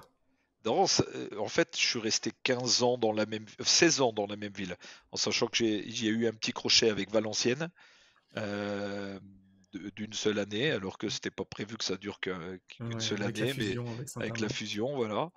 Mais euh, oui, le fait d'être resté 16 ans dans la même ville, à Caen, ça a aussi été un avantage pour ma famille. En fait, mes enfants ont pu avoir leur scolarité relativement stable, puisque est resté dans la même ville. Et ce qui n'est pas donné à tous les coachs, clairement pas. Non, non, ça a permis d'avoir un équilibre familial intéressant. Puis 16 ans, c'est rare. Oui. Ouais, ouais j'allais pas utiliser ce mot-là. j'allais dire ça arrive jamais. Parce que 16 ans euh, au même endroit. Euh, mais bon. J'aurais bien aimé que Pierre y reste plus longtemps. non, non, non. Non, mais moi, j'ai. En plus, moi, euh, souvent, quand on parle de, de famille, tout ça, c'est un sujet qui me tient à cœur parce que les gens se rendent pas forcément compte. Quand tu vas voir un match, tu vois la personne qui joue, le coach qui entraîne. Tu te rends pas compte de tous les facteurs qu'il y a derrière, de prend une décision de partir d'un club, ou quand un entraîneur euh, se fait virer, par exemple, ou quand on décide en pleine saison de virer un joueur, par exemple, parce que ça arrive euh, en tant que club, en tant que supporter du club. Tu peux dire, bah, il nous saoule, il est pas bon, mais ça implique tellement de choses derrière, pour les enfants, pour la femme aussi qui doit aussi retrouver un travail. Enfin, c'est c'est très très difficile. Et, euh, et moi j'ai eu de la chance, hein, personnellement. On, est, on a eu beaucoup de stabilité et, et, et globalement j'ai pas tant bougé que ça, mais j'en connais aussi qui ont énormément énormément bougé. Et c'est pas toujours facile. Donc euh, donc c'est une chance. et, Les, et les fins sont pas sont pas tout le temps très simples en fait. Euh, moi, ah, je, me, je, me, souviens de de mon dernier match à Caen où, euh, ah. où j'aimais. Enfin, quand, quand je dis quand, c'est euh, de toute façon les, les, deux, que ce soit Mondeville ou que ce soit Caen, mais, mais quand, euh, quand le, le, club, garçon. Ouais, j'ai vu, les, vu les images d'ailleurs, ça donne les frissons un peu, ça m'a mis les larmes aux yeux. Oui, oui, oui. Mais tu vois, tu le dis aujourd'hui, c'est encore. je suis encore à fleur de peau quand j'en parle parce que j'ai mes enfants qui se jettent dans mes bras et, euh, et oh là là, et il y a l'aîné qui me dit euh, Papa, on y arrivera Et, c'est cool, quoi, tu vois. Mais ouais. Tu, tu peux le couper ce moment-là. non, non, mais c'est. Ouais, ouais, non, c'est des, des moments forts et qui, et qui construisent, ouais, voilà. Voilà. Parce que parce que c'est des moments de partage où tu partages avec ta famille, parce que les petits, forcément, ils vivent avec toi les défaites, les victoires, et, et c'est beau, c'est très beau. Avec les côtés négatifs, tu vois, j'ai le souvenir de, de Saint-Brieuc, où j'ai euh, un de mes joueurs qui s'appelle euh, Olivier Gary, qui est euh, à l'époque un des meilleurs joueurs de Pro B, tu vois, et il a un fils qui est à l'école primaire ou l'école maternelle, et qui rentre de l'école, et puis qui dit à son papa dit papa, mais c'est vrai que tu es nul au basket. Et, euh, et, en fait, tu vois, c'est aussi ça. On sait qu'on a une, une position un peu euh, publique, en fait, et où on peut mmh. être très facilement euh, jugé par rapport à, aux résultats qu'on a. Et, et, les gens bah, nous jugent, mais transmettent ça aussi à nos familles, à nos enfants. Et, et parfois, c'est pas, pas en tant que simplement coach, mais les joueurs euh, peuvent avoir, et on, comprend que certains peuvent euh, se mettre dans une bulle et, euh, être parfois aigris parce que c'est pas forcément tout, le temps très facile à vivre en fait. Il y, a, il y, a, très très peu de, de salles en général, d'ambiance où quand tu vois quelqu'un rater des tirs plusieurs fois ou tu sens que ça fait plusieurs matchs, au lieu de souvent dans une salle d'entendre oh ou le tu sais les gens qui tapent sur le sur leur cuisse et, j'ai été dans très peu de salles, mais j'en ai vu, où euh, ces moments-là, c'est les moments où l'ambiance, elle monte, où les gens, ils applaudissent, ils mettent dedans. Ça, pour, ça n'a pas de prix pour un coach, ça n'a pas de prix pour un joueur, mais malheureusement, c'est pas la réalité. Et c'est aussi, euh, ça fait partie du, deal. Hein. Mmh. Euh, ça fait partie du deal, mais c'est pas toujours facile. ces émotions-là, tu es touché forcément. Tu vois, quand tu, tu parles du public, j'ai j'ai eu la chance, une chance énorme, c'est de d'être un coach à Mondeville, un coach à Caen et un coach à Valenciennes. Et, euh, entre Valenciennes où le public chantait les corons, euh, l'échauffement, enfin au moment de la présentation des matchs, waouh, c'était juste énorme en fait. Hein. Euh, et, j'ai eu la chance d'être à Mondeville sur les, la bonne période de Mondeville où, où la salle elle était blindée, où il y avait une vraie ambiance. Et quand on parle d'ambiance, on peut pas ne pas parler du camp basket Calvados, quoi, en fait, parce que tout la salle, euh, si aujourd'hui j'entends peut-être un petit peu moins bien, je crois que c'est parce que je suis passé par ces trois salles-là, quoi, en fait. Et, euh, et, quand on a Pierre Salzman qui est le, speaker euh, qui, met le feu, mais, mais même s'il n'était pas là, en fait, c'est un public qui a tellement vécu de choses, qui a tellement attendu que le club remonte c'est pas grave que vous jouiez le lundi, le mardi, le jeudi ou le vendredi. S'il y a un match, euh, la salle sera pleine, en fait, et, avec une ambiance que. Moi, je sais que les, mes cinq années à, Caen, il y a plein de matchs qu'on n'aurait jamais gagnés s'il n'y avait pas eu ce public-là, en fait. D'abord parce que tu pouvais insulter l'arbitre, euh, il y avait tellement de bruit, il t'entendait pas. Euh, et, et, donc, euh, oui, non, ça, ça, ça motivait les joueurs. Il y a plein de joueurs qui sont passés par là qui, qui le disent encore aujourd'hui. Vous avez fait une aventure folle, hein, parce que vous êtes reparti de N2, monté en N1, monté en Pro B, et, puis, as fait, puis souvent, voilà, parce que et c'est un, truc que je, que je voulais euh, mettre en valeur, c'est que souvent, euh, quand un entraîneur il part d'un club, il part en mauvais termes, souvent, parce que ça veut dire qu'on l'a coupé ou, euh, ou parce que les résultats se sont mal passés, etc.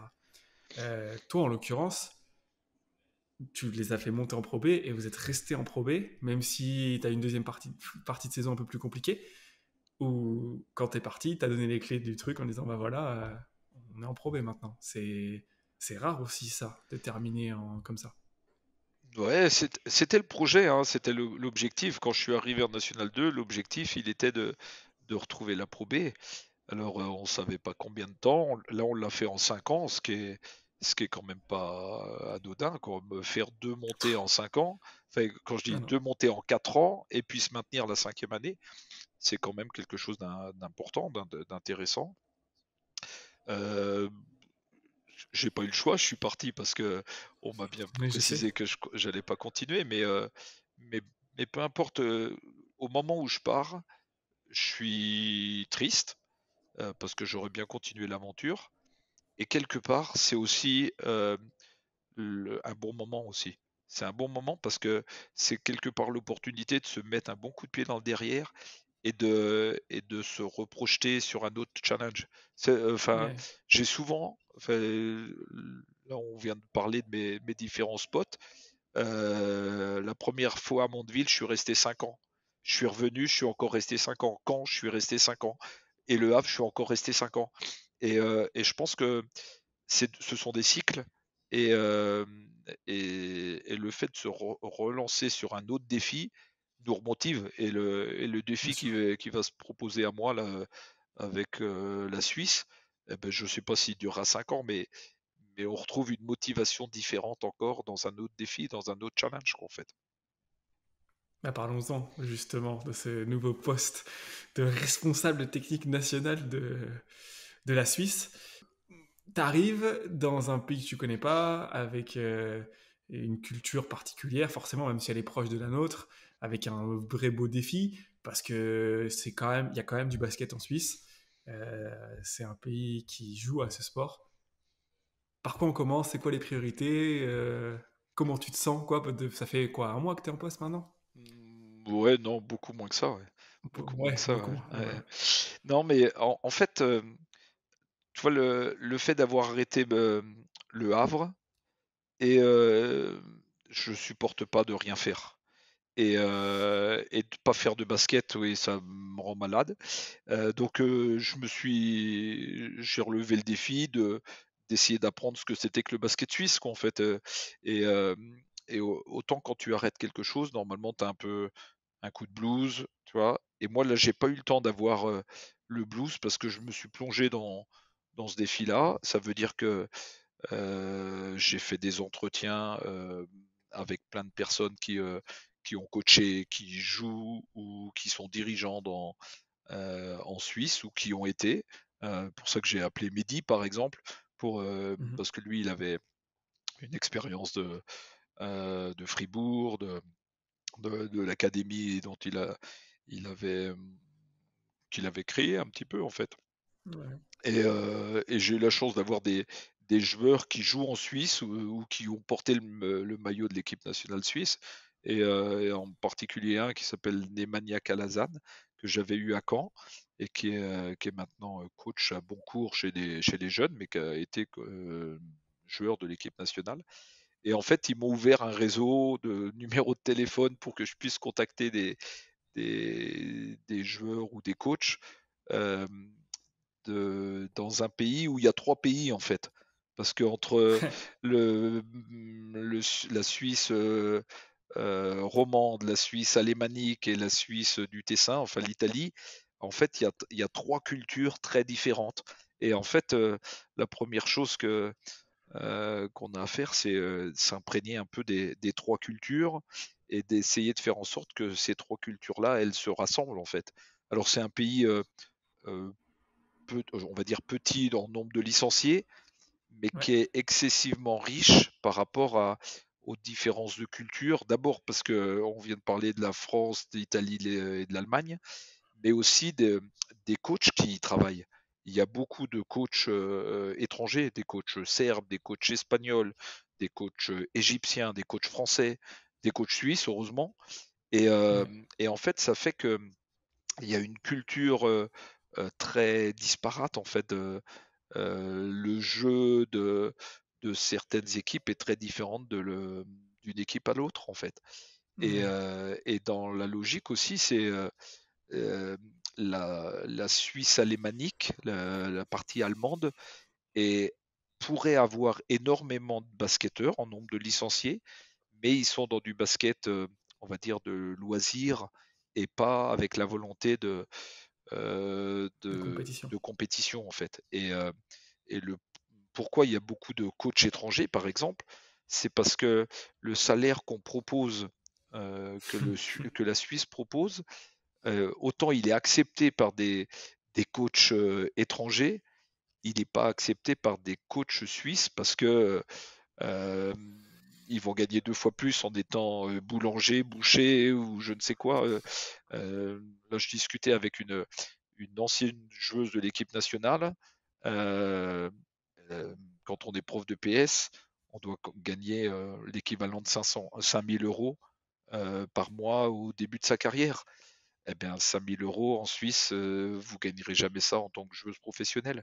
Donc euh, le, problème de, la Suisse, c'est que ils peuvent former des jeunes et puis très vite euh, les études prennent le pas ou, l'idée de gagner de l'argent et de devenir, enfin de, travailler, ben, prend le pas et puis il y a des joueuses qui, s'arrêtent assez vite en fait. Voilà, donc, du sens oui, oui, tout à fait. On n'a pas. C'est un défi qui est peut-être unique à la Suisse. Pour le coup, la Suisse est un pays unique dans le monde. Il n'y a pas d'autres pays comme la Suisse. Mmh euh, pour plein de raisons. Mais donc, euh, parce que pour revenir à, pour revenir à ta question, euh, comment donc on, commence par s'imprégner de la culture, on commence par découvrir ce qu'est le basket suisse avec des entretiens. Et puis, et puis là, je commence à, j'avais commencé à regarder des matchs. Je, me souviens, j'ai regardé, je ne sais pas si c'est la meilleure des choses qu'il faille faire, mais lors de la fenêtre de novembre, je me souviens être à Caen et à regarder le match des Metupan France-Ukraine sur ma grande télé et sur mon ordinateur.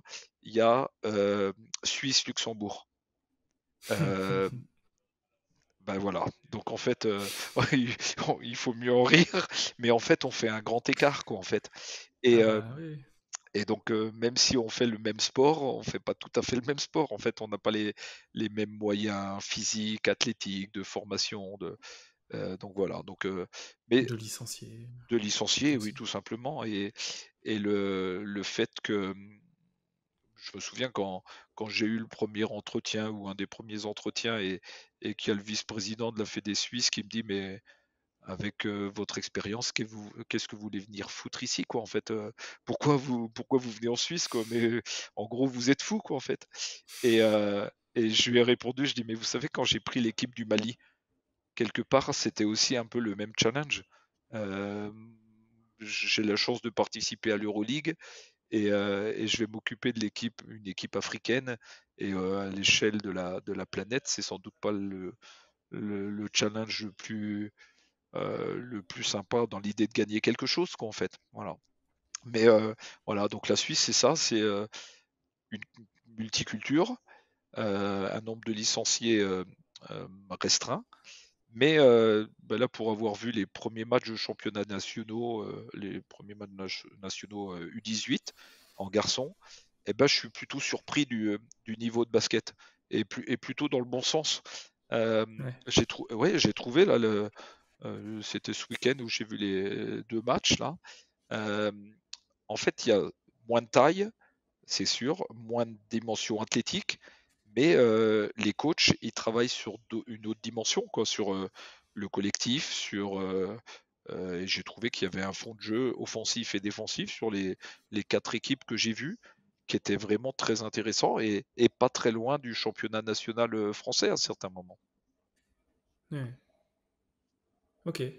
Et donc, ton rôle ben actuellement, ils t'ont dit quoi? Ils t'ont dit là, tu as une mission, tu as des objectifs, ou ils t'ont dit bah, tu as tellement d'expérience, vas-y, fais, ce que tu, fais ce que tu veux? Ben, En fait, de toute façon, il y a des priorités à mettre en place quand on arrive comme ça. Alors, il y a déjà plein de choses qui existent. Il y a, des, il y a un centre national de basket là, à Lausanne euh, où il y a les 12 meilleurs euh, jeunes euh, sur les catégories 2006, 2007, 2004, 2005. Il y a quatre années d'âge qui sont regroupés, qui s'entraînent deux fois par jour et qui, et qui jouent au deuxième niveau. On va, dire que c'est la Pro B suisse, quoi, en fait, mmh qui est quelque chose d'intéressant. Donc, on m'a demandé de, euh, de faire un peu un audit de, cette structure et, de, participer non seulement à l'encadrement, à l'entraînement de, des séances, mais essayer de, le bonifier encore, de qu'est-ce qu'on peut apporter en plus pour que, parce que c'est un, budget important pour, le, pour la fédération suisse d'avoir une structure euh, telle que le, CNBS, le Centre national de basket suisse. Donc, travailler autour de ça, travailler autour de l'équipe nationale féminine, parce que euh, la, fenêtre de, novembre euh, a montré euh, qu'il fallait qu'on s'y intéresse dans un, dans une, un pays où il y a peu de licenciés féminins hein, quand même, puisqu'il y en a 20, aux alentours de 25%. Et puis, et puis dans un, on va dire un troisième volet qui, est, qui va être de, s'occuper de la, de la, formation des cadres euh, avec la, problématique, euh, c'est que les coachs euh, de jeunes en Suisse ne sont pas des coachs professionnels, puisque mmh. puisqu'on n'attire pas des, des coachs pour en Suisse pour gagner 2000 ou, ou 2500 francs suisses ou 2500 euros, puisque les gens préfèrent faire un autre métier où ils vont gagner beaucoup plus. Donc euh, voilà, faire une formation des cadres avec des gens qui sont bénévoles. Alors ça existe en France. Hein.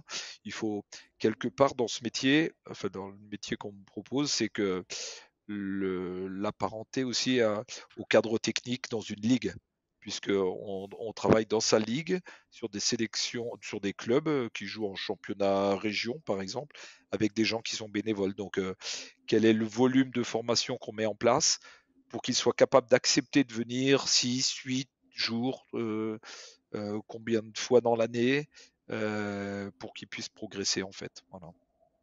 Donc, c'est un vrai beau défi. Oui, le, centre national, l'équipe nationale féminine et puis, et puis les, autres équipes nationales, mais principalement pour le moment l'équipe nationale féminine, plus la formation des cadres.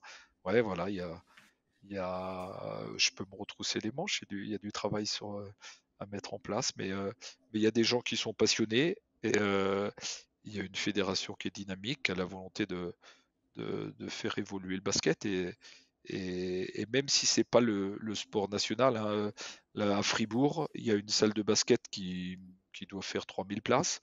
Mais à 20 mètres, il y a une, une patinoire qui est sold mmh. out, enfin pour du, du hockey sur glace, à 10 000 places, et ils sont sold out toute l'année. Donc euh, ça fait rêver quoi en fait. Mais, mais c'est vrai que pour le basket, c'est pas le, hockey sur glace, c'est quelque chose de, qui est beaucoup plus développé que le basket quoi en fait. Et puis inverser ces tendances-là, bah, ça se fait petit à petit. oui, il va falloir quelques années. Et puis l'autre, l'autre chance énorme dans, dans le métier, c'est que le hasard a fait que quand j'ai été recruté quelques semaines après, la FIBA a désigné la Suisse comme l'hôte des championnats du monde U19 en 2020, 2025. Et, ça, les championnats du monde U19 dans un pays comme la Suisse, c'est juste énorme. Hein. C'est un, ça peut être un coup de, booster énorme pour le, basket en Suisse. Et, donc là, actuellement, on est en train de travailler sur un, projet de deux ans pour d'abord accueillir le mieux possible ces équipes et d'avoir une équipe, puisque la Suisse va être automatiquement qualifiée, et d'avoir l'équipe la, meilleure possible pour, pour participer à ces championnats du monde. Et, et il y, a une équipe, il y a une génération qui est intéressante parce qu'il y, a des, y a des joueurs qui sont en Espagne, au Barça, il y en a qui sont à Zagreb, il y en a qui sont en Italie, il y en a qui sont aux États-Unis. Et, et, il va falloir être capable de justement le, fédérer tous ces joueurs-là vers le, projet de l'équipe nationale suisse pour les championnats du monde. Ça aussi, c'est un beau défi. Hein. Oui, tout à fait. Et puis, c'est un bon souvenir. Enfin, moi, les championnats du monde euh, euh, au Caire, euh, c'est un bon souvenir de, de pouvoir revivre ce genre de compétition qu'en fait. Tu m'étonnes. Tu m'étonnes. Tu parlais en plus de l'équipe de féminine qui, alors tu as parlé de la fenêtre, bon, je vais contre le Luxembourg, mais ils ont aussi gratté, et ils étaient, elles étaient pas loin, alors je sais pas encore fini, hein, mais de se qualifier aussi pour le championnat d'Europe. Et ça, ce serait. les garçons, les, garçons sont, sont, encore en, course. Il y, a, une dynamique des garçons sur l'équipe nationale qui est plus importante. Euh, euh, l'image de Clint Capella, par exemple, euh, mmh. attire encore les, plus facilement les, les, garçons vers le basket. En filles, c'est un, petit peu différent parce que les meilleures joueuses suisses à l'étranger, elles jouent en deuxième division en France, par exemple entre Evita qui joue à Reims. voilà, on n'a pas encore des, joueuses qui sont capables de jouer en ligue féminine, par exemple. Et certaines pourraient devenir. Génération... Ouais, puis c'est une génération en plus qui, qui, est, enfin la, génération qui est en, équipe nationale qui a autour de 29-30 ans, quoi.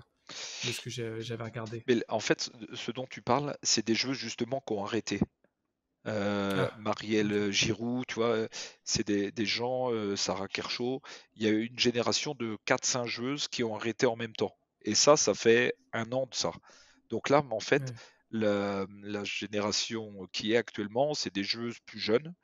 Et, euh, je crois que les, meilleurs potentiels sont, ben, par exemple, des joueuses qui, qui ont fait les, les championnats d'Europe l'année dernière des moins de 20 ans avec François Gomez comme coach et euh, où là il y a vraiment des joueuses euh, avec un potentiel intéressant. Certaines sont euh, aux États-Unis en NCAA par exemple et d'autres sont en Allemagne, en Belgique et il faut arriver à, faire en sorte que qu'on les garde ces joueuses-là et qu'on arrive à, à, faire en sorte qu'elles gardent un projet basket en tant que joueuse professionnelle, sans doute pas en Suisse, sans doute pas en Suisse, mais, euh, mais avec le projet de, continuer leur développement là-dessus, en fait. C'est un vrai défi euh, quand on parle de ce que nous en France on parle souvent de faire jouer les jeunes, de les mettre à un bon niveau, etc. Quand tu n'as pas le, si tu veux amener des joueuses de top niveau ou des joueurs d'ailleurs de top niveau mondial, quand tu n'as pas la structure dans le pays qui te permet d'avoir ce niveau de compétition là quoi. C'est un, un, vrai défi. Moi je Clint c'est marrant. Moi j'ai joué contre lui euh, et il, a, il, était en France. Ouais, Chalon. Ouais. Euh, ouais chez, les, chez les jeunes. Donc euh, et en même temps garder ce lien, c'est c'est trouver l'équilibre entre. C'est difficile. C'est difficile. Tu vois par exemple quand on parle des structures, le championnat professionnel filles, il y a six équipes. Donc ça, euh, et, ça veut dire que six équipes, alors ils ont organisé un championnat, mais ça veut dire que tous les 15 jours tu rejoues la même équipe qu'en fait. Et, euh, et, quand on dit euh, les meilleures jeunes joueuses, à 16 ans, elles jouent en ligue féminine. Enfin, l'équivalent de la ligue féminine.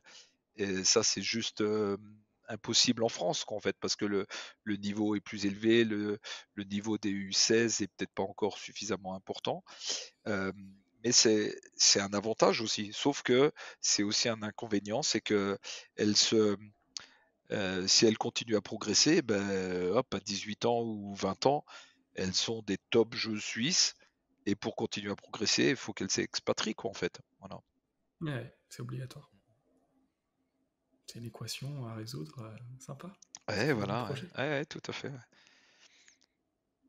Parce que tu parlais du Mali tout à l'heure. donc, tu es parti coacher, tu as fait un championnat du monde avec le Mali. C'était la première victoire africaine d'ailleurs de, l'histoire du championnat du monde féminin. Mhm. et puis tu les as recoachés un peu plus tard. C'est pareil, ça aussi c'était un beau défi. D'ailleurs, c'est une équipe qui, a, qui continue d'être présente et qui a un réservoir et qui, pour le coup, a les capacités athlétiques, et, mais euh, après, c'est toujours, pas. Et en termes d'organisation, c'est un peu difficile. Je sais que tu as des anecdotes sur ça. Euh, sur des numéros de maillot ou des trucs comme ça. Très... Je vais tuer ton podcast si je te raconte les, anecdotes. Oui, bah, le numéro de maillot, tu connais. Mais euh, oui, enfin, pour euh, expliquer à tout le monde, c'est que on prépare les championnats du monde. Les, maillots, ils arrivent deux jours avant de partir au championnat du monde. On est en préparation en France. Et le numéro qui est devant, c'est pas le même numéro qui est derrière. Le maillot, il est magnifique, sauf que on peut pas les utiliser. Mais en fait, plus que euh, le Mali, plus que les, résultats, euh, c'est aussi les, la richesse humaine que, que, j'en retiens, en fait. Et, euh, et, ça, ça a été une expérience simplement incroyable, quoi, en fait. Euh, c'est vrai que gagner la, le match euh, au championnat du monde en République tchèque, et pourtant, on, est, on était vraiment pas très loin. on avait failli gagner plusieurs matchs, on était après prolongation, on était à, à une victoire pour se qualifier vers les, au quart de finale et, et on aurait pu jouer les États-Unis en quart de finale et, et ça aurait, ça aurait, été, tout simplement énorme. Et, euh, et, oui, quand on gagne le match, euh, euh, je crois que c'est contre le Sénégal. c'est contre le Sénégal, ouais. En comment ben, dans le vestiaire, il y a le ministre des Sports qui téléphone, il y a le président qui téléphone. C'est, c'est, vous êtes champion du monde, quoi, en fait. Donc euh, non, non, c'était. Et puis par contre, un pays où il y avait un potentiel euh, de développement énorme. Euh, à cette époque-là, je pouvais mettre 5 joueuses à 2 mètres dans l'équipe nationale. J'avais 5 joueuses qui faisaient quasiment 2 mètres. donc oui, c'était c'était juste incroyable quoi, en fait. Et, et, pas des grandes qui pouvaient pas courir, c'était des grandes qui étaient aussi capables d'être mobiles. Et voilà, après avec des, des structures qui n'existent pas forcément. Les, matchs ont lieu dehors, en fait. Donc, euh, euh, quand vous jouez en salle, ils sont, c'est, différent, en fait. Mais euh, non, non, j'en garde une, expérience incroyable et, j'en garde de super souvenirs avec des, avec des joueuses, avec, avec l'idée d'avoir aussi fait avancer à ma façon le, basket, le basket malien, quoi, en fait. Parce que c'était ma question par rapport au rôle que tu as là en Suisse qui est pour le coup beaucoup plus sur du long terme. Quand, quand tu coachais le Mali, l'année tu étais avec euh, Ville. Mhm. Euh, tu peux pas non plus. Euh, ton, ton, ton, champ d'impact est forcément beaucoup plus limité. C'est clair, on agit sur. Euh, c'était frustrant d'ailleurs pour toi, ça ou pas Je vais dire oui et, et, non, parce que même la première année, je me suis. Il y avait en même temps les championnats du monde U17 qui avaient lieu en France et le Mali était là et est venu se préparer en France. Et donc, euh, je me suis mis à travailler avec le coach des U17, avec l'équipe nationale U17. Et donc, ça m'a permis de, de, donner des, des, lignes directrices dans le développement des, des joueuses. Et, et, comme ces coachs-là, ils sont toujours en place et euh, avec qui j'ai toujours des contacts, eh bien, ça permet de, d'avoir donné un petit peu plus que simplement m'occuper de l'équipe senior, en fait. Et, et, là, ces joueuses-là, U17, sont passées par l'équipe senior après, euh, et pour certaines sont encore en équipe nationale.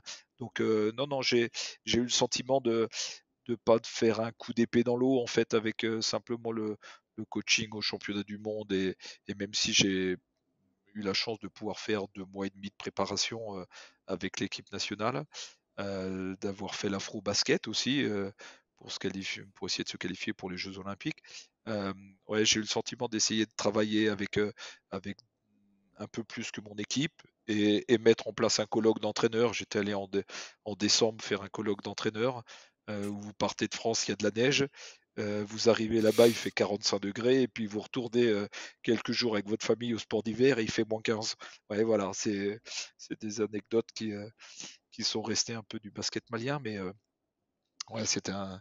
Quand vous faites un colloque d'entraîneur, il fait 45 degrés, vous êtes en plein soleil et vous parlez à des coachs. Vous, vous êtes un peu moins habitué que euh, à cette chaleur-là, en fait. Ah surtout que c'est, il fait, c'est une vraie chaleur différente qu'il y a en France en plus. Donc, euh, ouais, c'est, c'est une expérience que tu aurais aimé continuer. Alors bon, on va pas parler de, je sais que ça s'est mal passé à la fin, euh, mais euh, c'est une expérience que tu aurais aimé pousser à terme, ou aussi par les raisons qu'on a dit, parce que c'est épuisant, parce que ça dure, parce que les saisons sont longues, ça t'a fait du bien aussi d'arrêter? Euh, non, j'aurais continué, j'aurais bien aimé continuer. Euh, je pense que si on me, repropose une aventure euh, africaine, je, ouais, je, me relancerai assez facilement. Si tant est que ce soit compatible, hein, mais là, j'en parle même pas là en ce moment. Mais si j'avais été coach d'une équipe, oui, je pense que ça m'aurait bien relancé parce que parce que c'est rafraîchissant aussi. quelque part, on n'est pas on n'est pas pollué par les mêmes choses en fait.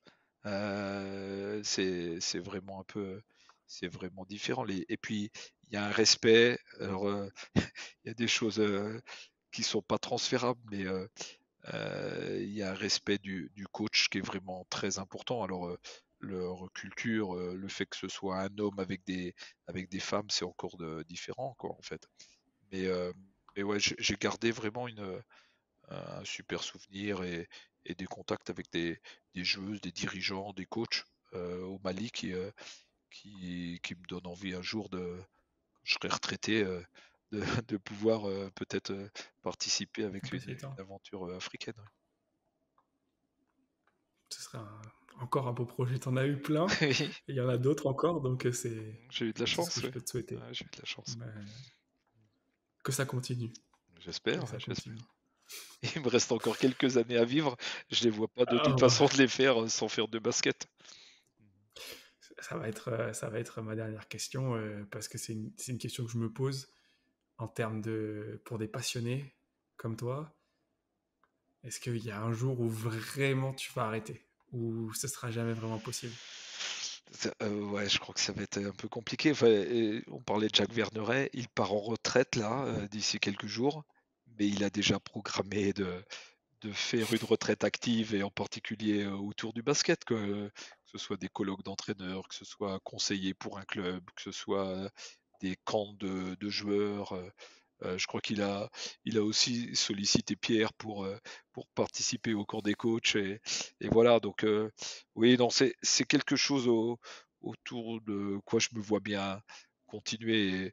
Et ouais, le jour où je m'arrêterai, non, je, me vois pas, je me vois pas perdre la passion du basket, quoi, en fait, parce que parce qu'il y a tellement de choses encore à apprendre et, à transmettre que que je voudrais pas passer au travers de ça, quoi, en fait. Non, bah écoute, le plus tard possible, comme, il dit l'autre, le plus tard possible. Parfait. moi, j'ai touché à tous les sujets à peu près qui m'intéressait. Tu vois, on a bien tenu euh, longtemps, on avait plein de choses à dire. je suis désolé si j'étais trop euh, bavard. tu rigoles ou quoi? Pas du tout. C'était, super, merci. Est-ce que il y a un truc euh, que j'ai pas, un sujet que j'ai pas touché, voilà, quelque chose que tu voudrais ajouter? Non, non, tu avais bien préparé ton, ton podcast, t'avais, avais bien. ouais, non, je crois pas que tu aies oublié quoi que ce soit. Ouais. Parfait. Bon, Ouais, il me reste plus qu'à te remercier du coup. Non, merci à toi. Bon courage maintenant parce que j'imagine qu'il va falloir euh, un peu de temps pour, euh, pour, monter tout ça. Il y a du travail, mais ça, ça, se fait bien. c'est la passion, tu vois, c'est toujours pareil. On parle toujours des mêmes choses. Bon, ben parfait.